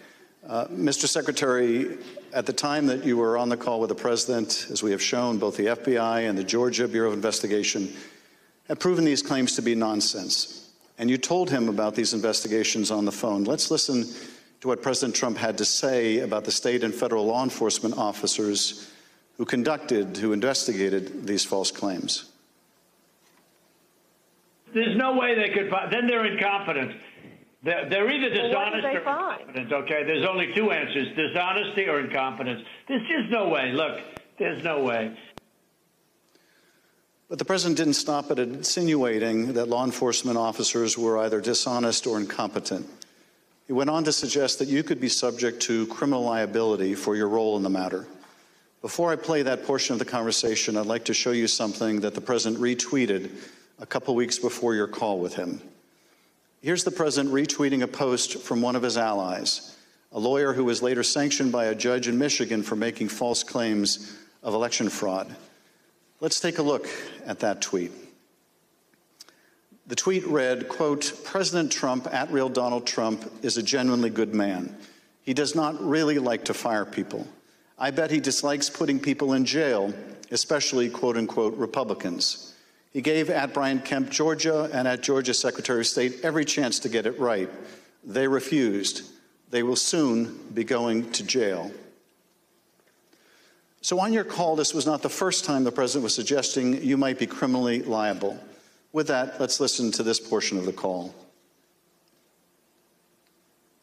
I think you're going to find that they are shredding ballots because they have to get rid of the ballots because the ballots are unsigned. The ballots are are corrupt, and they're brand new and they don't have seals. And there's a whole thing with the ballots, but the ballots are corrupt, and you're going to find that they are, which is totally illegal. It's it's it's more illegal for you than it is for them because you know what they did and you're not reporting it. That's a you know that's a criminal that's a criminal offense, and and you know you can't let that happen. That's that's a big risk to you and to Ryan, your lawyer. That's a big risk. Secretary Raffensperger, after making a false claim about shredding of ballots, the president suggested that you may be committing a crime by not going along with his claims of election fraud. And after suggesting that you might have criminal exposure, President Trump makes his most explicit ask of the call. Let's play a part of that conversation. So, look, all I want to do is this I just want to find uh, 11,780 votes, which is one more than we have, because we won the state Mr. Secretary, was the president here asking you for exactly what he wanted? One more vote than his opponent. What I knew is that we didn't have any votes to find. We had continued to look. Uh, we investigated, like I just shared the numbers with you. There were no votes to find. That was an accurate count that had been certified. And as our general counsel said, there was no shredding of ballots. Mr. Secretary, after making this request, the president then goes back to the danger of having you deny these allegations of fraud. Let's listen to that part of the clip. And I watched you this morning, and you said, uh, well, there was no criminality, but I, I, mean, all of this stuff is, is very dangerous stuff. It's, when you talk about no criminality, I think it's very dangerous for you to say that. Secretary Raffensperger, you wrote about this in your book, uh, and you said, quote, I felt then and still believe today that this was a threat. Others obviously thought so too, because some of Trump's more radical followers have responded as if it was their duty to carry out this threat. Please tell us what you, your wife, even your daughter in law experienced regarding threats from Trump's more radical followers. Well, after the, ele- after the election, uh, my email, my cell phone was doxxed, and so I was getting text all over the country. And then eventually, my wife started getting the uh, text, and hers typically came in as sexualized uh, texts, which were disgusting. You have to understand that uh, Trish and I, we met in high school, and we've been married over 40 years now. And so um, they started going after her, I think, just to probably put pressure on me. Why don't you just quit, walk away? And so that happened. And then some people broke into my daughter in law's uh, home. And uh, my son has passed, and she's a widow and uh, has two kids. And so we're very concerned about her safety also. And Mr. Secretary, why didn't you just quit and walk away? Because I knew that we had followed the law and we had followed the Constitution. And I think sometimes moments require you to stand up and, and just take the shots when you're doing your job. And that's all we did. You know, we just followed the law and we followed the Constitution. And at the end of the day, President Trump came up short. But I had to be faithful to the Constitution. And that's what I swore an oath to do. During the remainder of the call, the former president continued to press you to find the remaining votes that would ensure his victory in Georgia. Let's listen to a little more. Why wouldn't you want to find the right answer, Brad, instead of keep saying that the numbers are right? So look, uh, can you get together tomorrow? And Brad, we just want the truth. It's simple, and uh, and everyone's going to look very good if the truth comes out. It's okay. It takes a little while, but let the truth come out. and the, tr- the real truth is, I won by 400,000 votes at least. So what? So what are we going to do here, folks? I only need 11,000 votes, fellas. I need 11,000 votes. Give me a break. Four days after the president's call to Secretary Raffensperger was January 6th. The president whipped up the crowd in front of the ellipse, once again promoting the allegation that Secretary Raffensperger, the president's own attorney general, had told him was false. Here he is on the ellipse. In Fulton County, Republican poll watchers were ejected, in some cases physically, from the room under the false pretense of a pipe burst, water main burst, everybody leave, which we now know was a total lie. Then election officials pulled boxes, Democrats, and suitcases of ballots out from under a table. You all saw it on television, totally fraudulent, and illegally scanned them for nearly two hours, totally unsupervised. Tens of thousands of votes. This act coincided with a mysterious vote dump of up to 100,000 votes for Joe Biden, almost none for Trump. Oh, that sounds fair. That was at 1:34 a.m. Mr. Secretary, Mr. Sterling, I want to thank you for your service to the state of Georgia and to the country. Um, Speaker Bowers, likewise, I want to thank you for your service to the state of Arizona and to the country. You have served not only your home states, but our nation and our democracy. Mr. Chairman, uh, I yield back. Thank you, Mr. Schiff. I thank the witnesses for joining us today. You're now dismissed.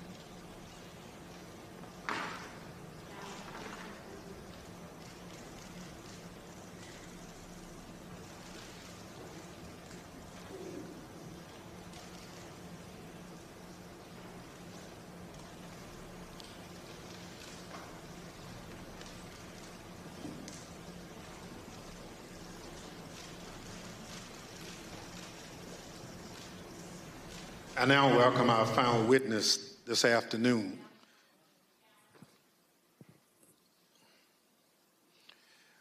Wandrea ArShaye Moss.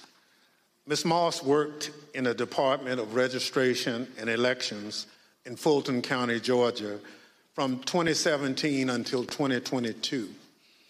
In that job, Ms. Moss handled voter applications and absentee ballot requests and also helped to process the vote count for several elections. In December 2020, Ms. Moss and her mother, Ms. Ruby Freeman, became the target of nasty lies spread by President Trump and his allies as they sought to overturn the election results in Georgia. Ms. Moss and her mother, Ms. Freeman, are two of the unsung heroes in this country doing the hard work of keeping our democracy functioning for every American. Ms. Moss, welcome. Thank you for your service, and I thank you for being here today. Uh, I will now swear you in. Please stand.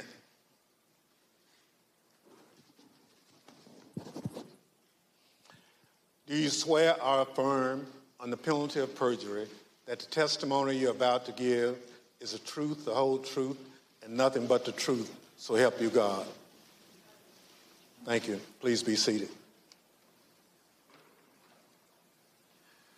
Let the record reflect that the witness answered in the affirmative. Ms. Wa- Ms. Moss, thank you very much for being here today. I understand that you are here along with your mother today. Uh, would you like to introduce your mama?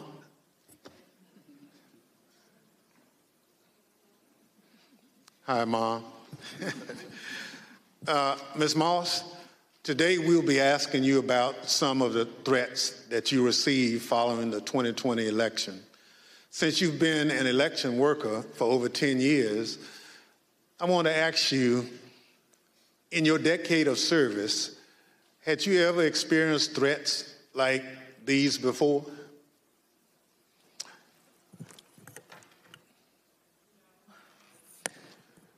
Uh, don't be nervous. Just, I understand. So, uh, and, and I want to make sure that the record reflects that you've done it for quite a while and you never received a threat. And your answer was no. Thank you.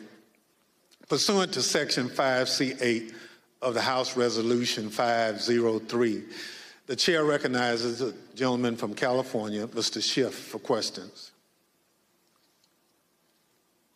Good afternoon, Ms. Moss. Uh, thank you for being here. Uh, I understand that you were employed by the Fulton County Registration and Elections Department uh, for more than 10 years, uh, and I understand that you love that job. Uh, please tell us what made you so fond of the work that you did. Um, well, I've always um, been told by my grandmother how important it is to vote and how people before me, a lot of people, um, older people in my family, did not have that right.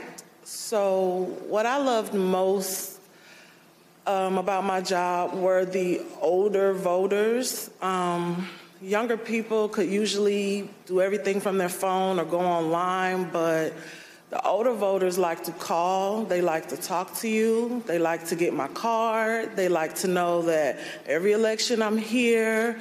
Um, and like even college students, a lot of parents um, trust in me to make sure their child does not have to drive home.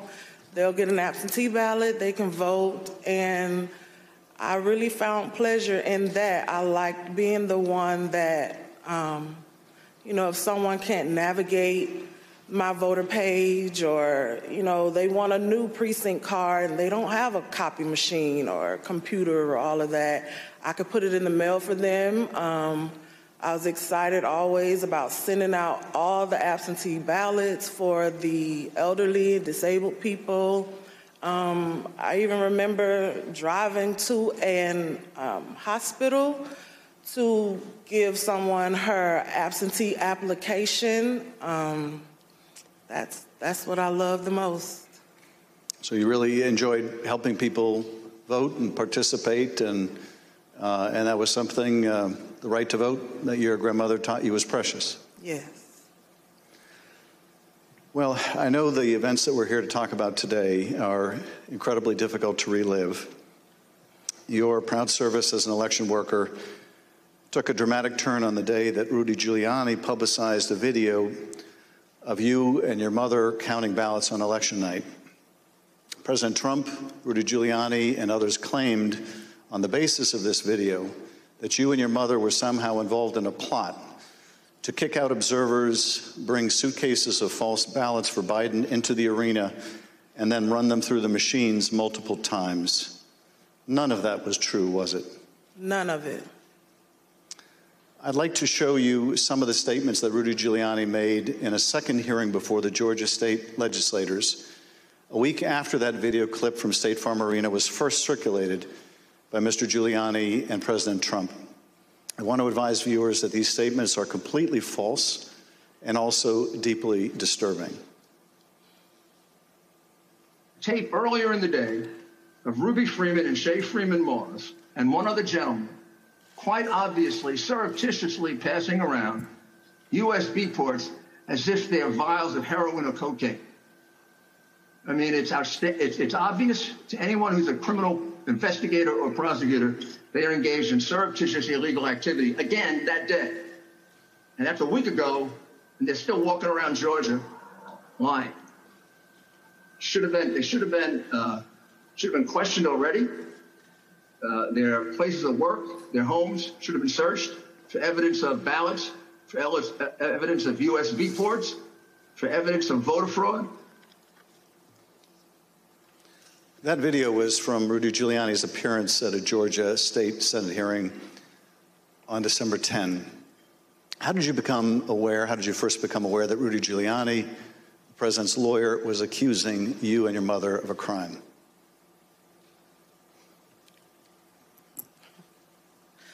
I was at work, like always, um, and the former chief, Mr. Jones, asked me to come to his office. And um, when I went to his office, the former director, Mr. Barron, was in there, and they showed me a video on their computer.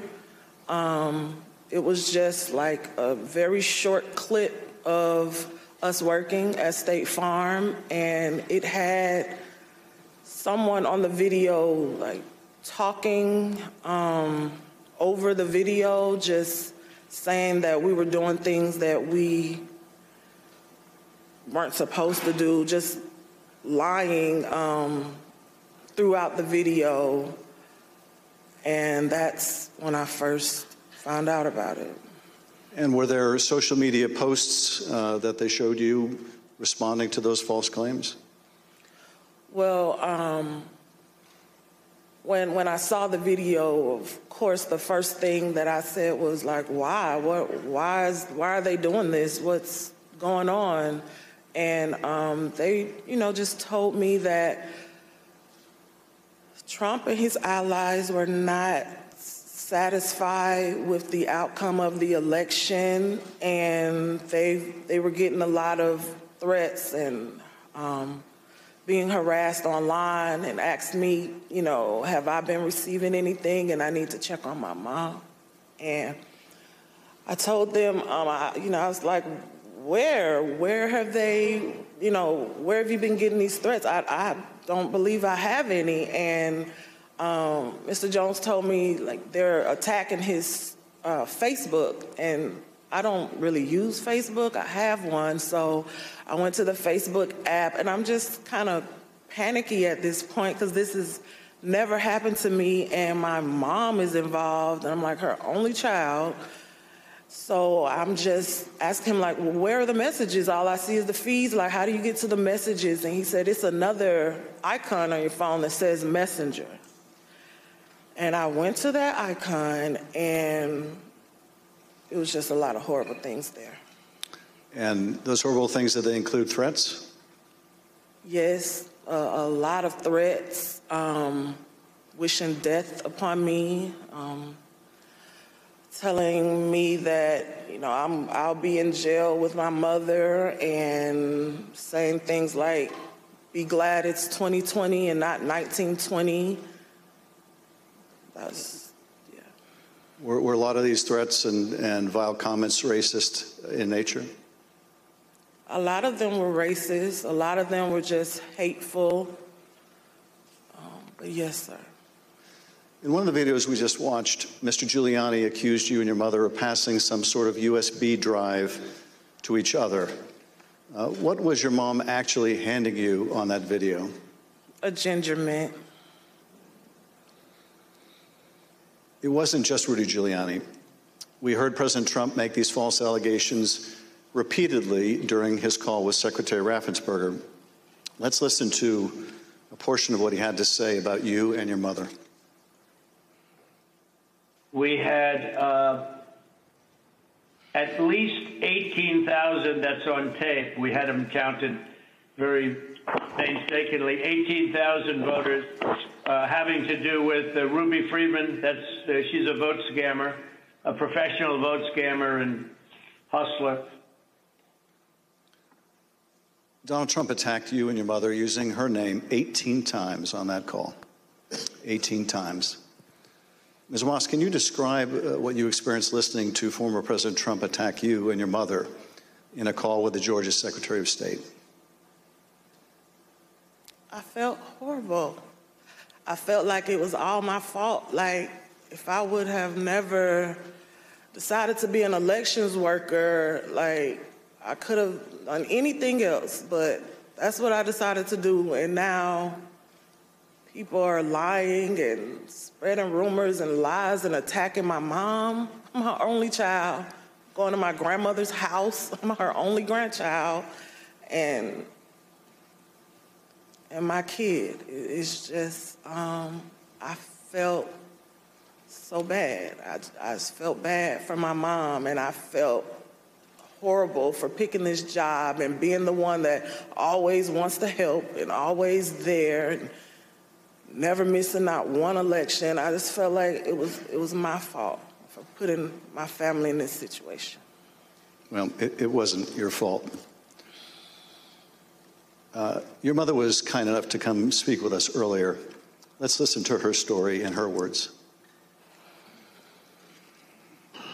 My name is Ruby Freeman. I've always believed that when God says that He'll make your name great, but this is not the way it was supposed to be. I could have never imagined the events that followed the presidential election 2020. For my entire professional life, I was Lady Ruby. My community in Georgia, where I was born and lived my whole life, knew me as Lady Ruby. I built my own business around that name, LaRuby's Unique Treasures, a pop-up shop catering to ladies with unique fashions. I wore a shirt that proudly proclaimed that I was and I am Lady Ruby. Actually, I had that shirt on. I had that shirt in every color. I wore that shirt on Election Day 2020. I haven't worn it since, and I'll never wear it again. now I won't even introduce myself by my name anymore. I get nervous when I bump into someone I know in the grocery store who says my name. I'm worried about who's listening. I get nervous when I have to give my name for food orders. I'm always concerned of who's around me. I've lost my name and I've lost my reputation. I've lost my sense of security. All because a group of people starting with number 45 and his ally, Rudy Giuliani, decided to scapegoat me and my daughter, Shaye, to push their own lies about how the presidential election was stolen. Ms. Moss, how has this experience of being targeted by the former president and his allies affected your life? It's turned my life upside down. Um, I no longer give out my business card. I don't transfer calls.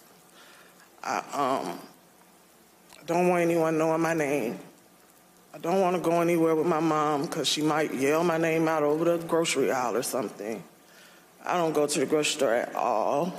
I haven't been anywhere um, at all. I've gained about 60 pounds. I just don't do nothing anymore. I don't want to go anywhere. I second guess everything that I do. Um, it's affecting my life in a, in a major way in every way. All because of lies. For me doing my job, same thing I've been doing forever.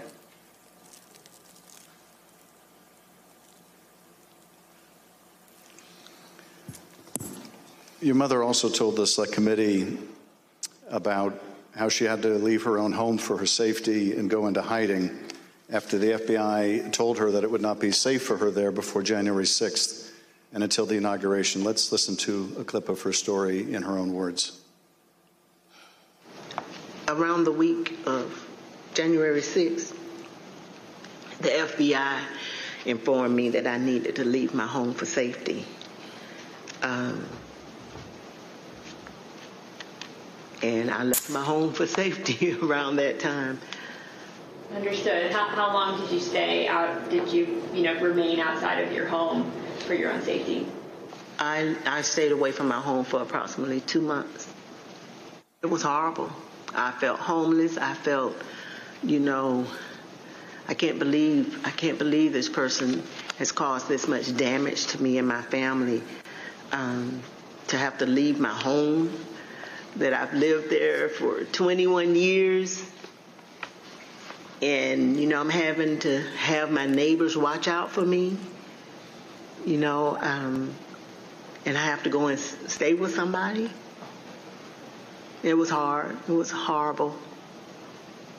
And that um, your conversation with the FBI about needing to leave your home for your, your own safety or perhaps recommending it. Um, do you remember, was there a specific threat that prompted that, or was it the accumulation of of threats that you had received? What prompted it was um, was getting ready to January 6th was about to come. And they did not want me to be at home because of all the threats and everything that I had gotten. They didn't want me to be there in fear of, you know, the people were coming to my home and I had a lot of that. So they didn't want me to be there just in case something happened. I asked, how long am I going to have to be at home? And they said, at least until the inauguration. Ms. Moss, I understand that people once um, showed up at your grandmother's house. Uh, tell us about that experience. Um, I received a call from my grandmother. This woman is my everything. I've never even heard her or seen her cry ever in my life. And um, she called me screaming at the top of her lungs, like, Shaye, Shaye, oh my God, Shaye, just freaking me out, saying that um, there were people at her home and they, um, you know, they knocked on the door, and of course she opened it seeing who was there, who it was, and they just started pushing their way through, claiming that they were coming in to make a citizen's arrest. They needed to find me and my mom. They knew we were there. Um, and she was just screaming and, and, didn't know what to do. And I wasn't there. So, you know, I just felt so helpless and so horrible for her. And she um, was just screaming. I told her to close the door. Don't open the door for, for anyone. And, um, you know, she's a 70 something, I won't say year old woman, and she, she doesn't like having restrictions. She wants to answer the door. She likes to get her steps in, walking around the neighborhood and I had to tell her like you can't do that. You you have to be safe. Um, you know, she would tell me that at night, um, people would just continuously send pizzas over and over to her home, um, you know, and they was expecting her to pay for these large amounts of pizzas, and, and she went through a lot that she didn't um, have to. And once again, it, it made me just feel so horrible. In addition to the personal impact this experience has had on you and your family, one of the things that I find most disturbing is how these lies discourage longtime election workers from continuing to do this important work. Tell us, if you would, of the other election workers shown in that State Farm Arena video and their supervisors. How many are still election workers in Fulton County? Um, there is no permanent election worker or supervisor in that video that's still there. And did you end up leaving your, leaving your position as well? Yes, I, I left. Ms. Moss, I want to thank you for coming to speak with us and to thank you for your service uh, to our democracy. What we have just played is a truly horrible and appalling sample, but just a sample of the things that were said about you and your mother following the election. I want to say how very sorry I think we all are for what you've gone through, and tragically, you're not alone. Other election workers around the country have also been the subject of lies and threats. No election worker should be subject to such heinous treatment just for doing their job. With your permission, I would like to give your mother the last word. Yes. We're just going to play the tape. There is nowhere I feel safe. Nowhere. Do you know how it feels to have the President of the United States to target you? The President of the United States is supposed to represent every American, not to target one. But he targeted me, Lady Ruby, a small business owner, a mother, a proud American citizen who stand up to help Fulton County run an election in the middle of the pandemic. Thank you, Ms. Moss. Thank you, Ms. Freeman, or as America now knows her, Lady Ruby, for your service to Fulton County, Georgia, our country, and our democracy. Mr. Chairman, I yield back. Thank you, Mr. Schiff. Ms. Moss? Yes, sir. I want to thank you for sharing with us the very troubling story of what you and your mother experienced. The harassment of election workers like you simply for doing your duty as public servants poses a threat to our democratic process. Your testimony is an important contribution to the work of our committee and serves as a reminder to all of us that the safety of local election officials is vital to ensuring that our elections are always free and fair.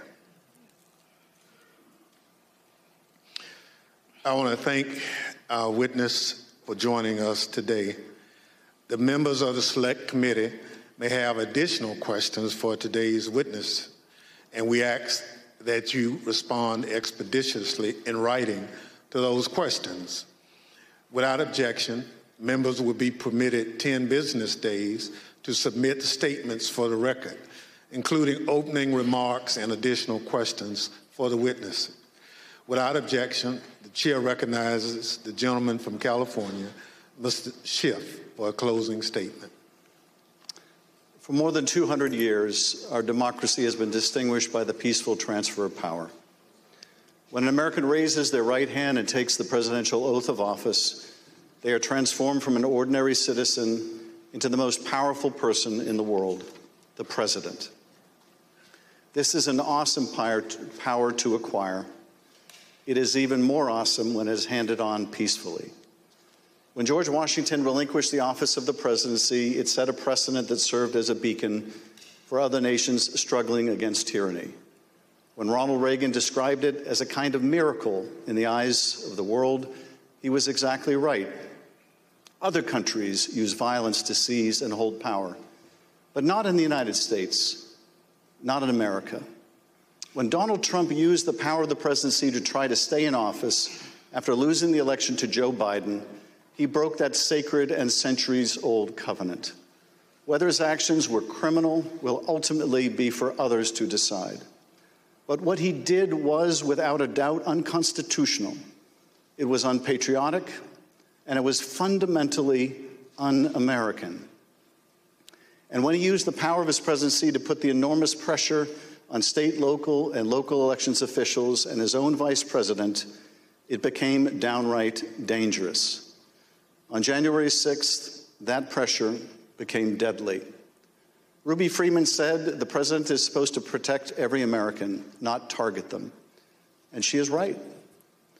If the most powerful person in the world can bring the full weight of the presidency down on an ordinary citizen who is merely doing her job with a lie as big and heavy as a mountain, who among us is safe?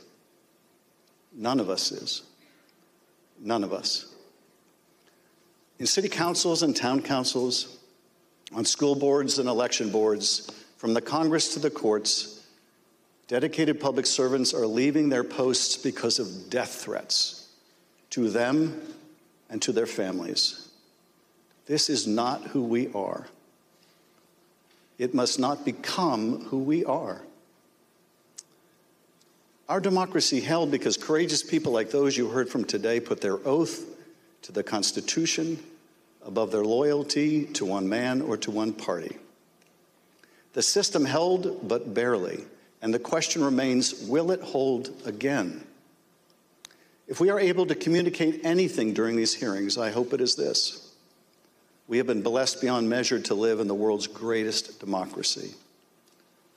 That is a legacy to be proud of and to cherish, but it is not one to be taken for granted. That we have lived in a democracy for more than 200 years does not mean we shall do so tomorrow. We must reject violence. We must embrace our Constitution with the reverence it deserves, take our oath of office and duties as citizens seriously, informed by the knowledge of right and wrong, and armed with no more than the power of our ideas and the truth, carry on this venerable experiment in self governance.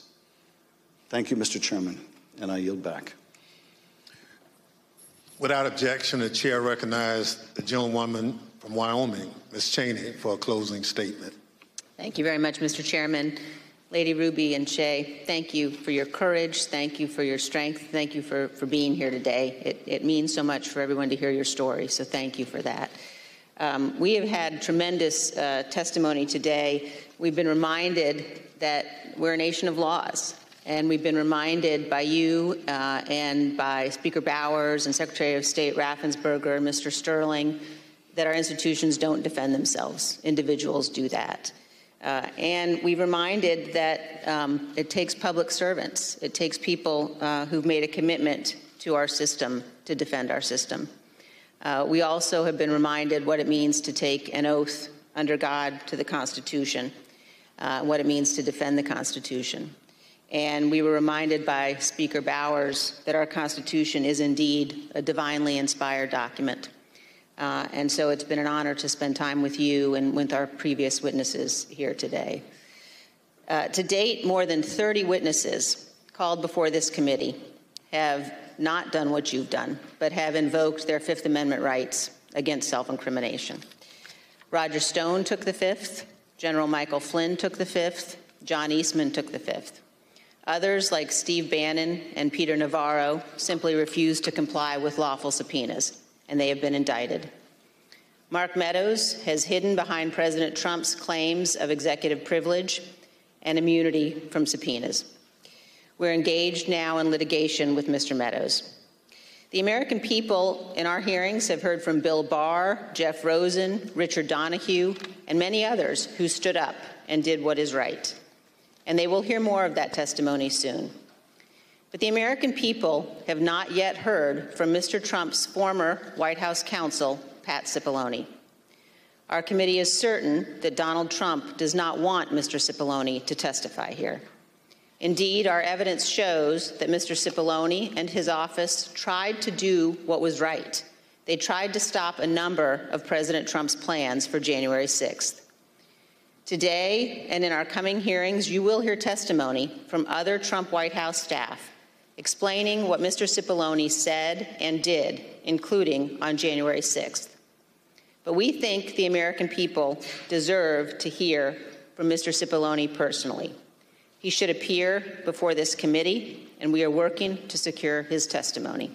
Thank you, Mr. Chairman. I yield back. People answer the call to public service in such different ways. Some run for office. Some volunteer to make sure their neighbors can get to their voting locations. Some work at polling sites to help election day go smoothly.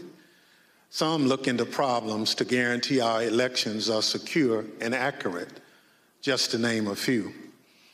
As I mentioned at the start of this hearing, when we talk about our democratic institutions, we're talking about these individuals and many others who do these jobs across the country. They represent the backbone of our democracy at its most important moments when the citizens cast their votes and when those votes are counted. We've heard the stories of their courage. They've earned the thanks of a grateful nation.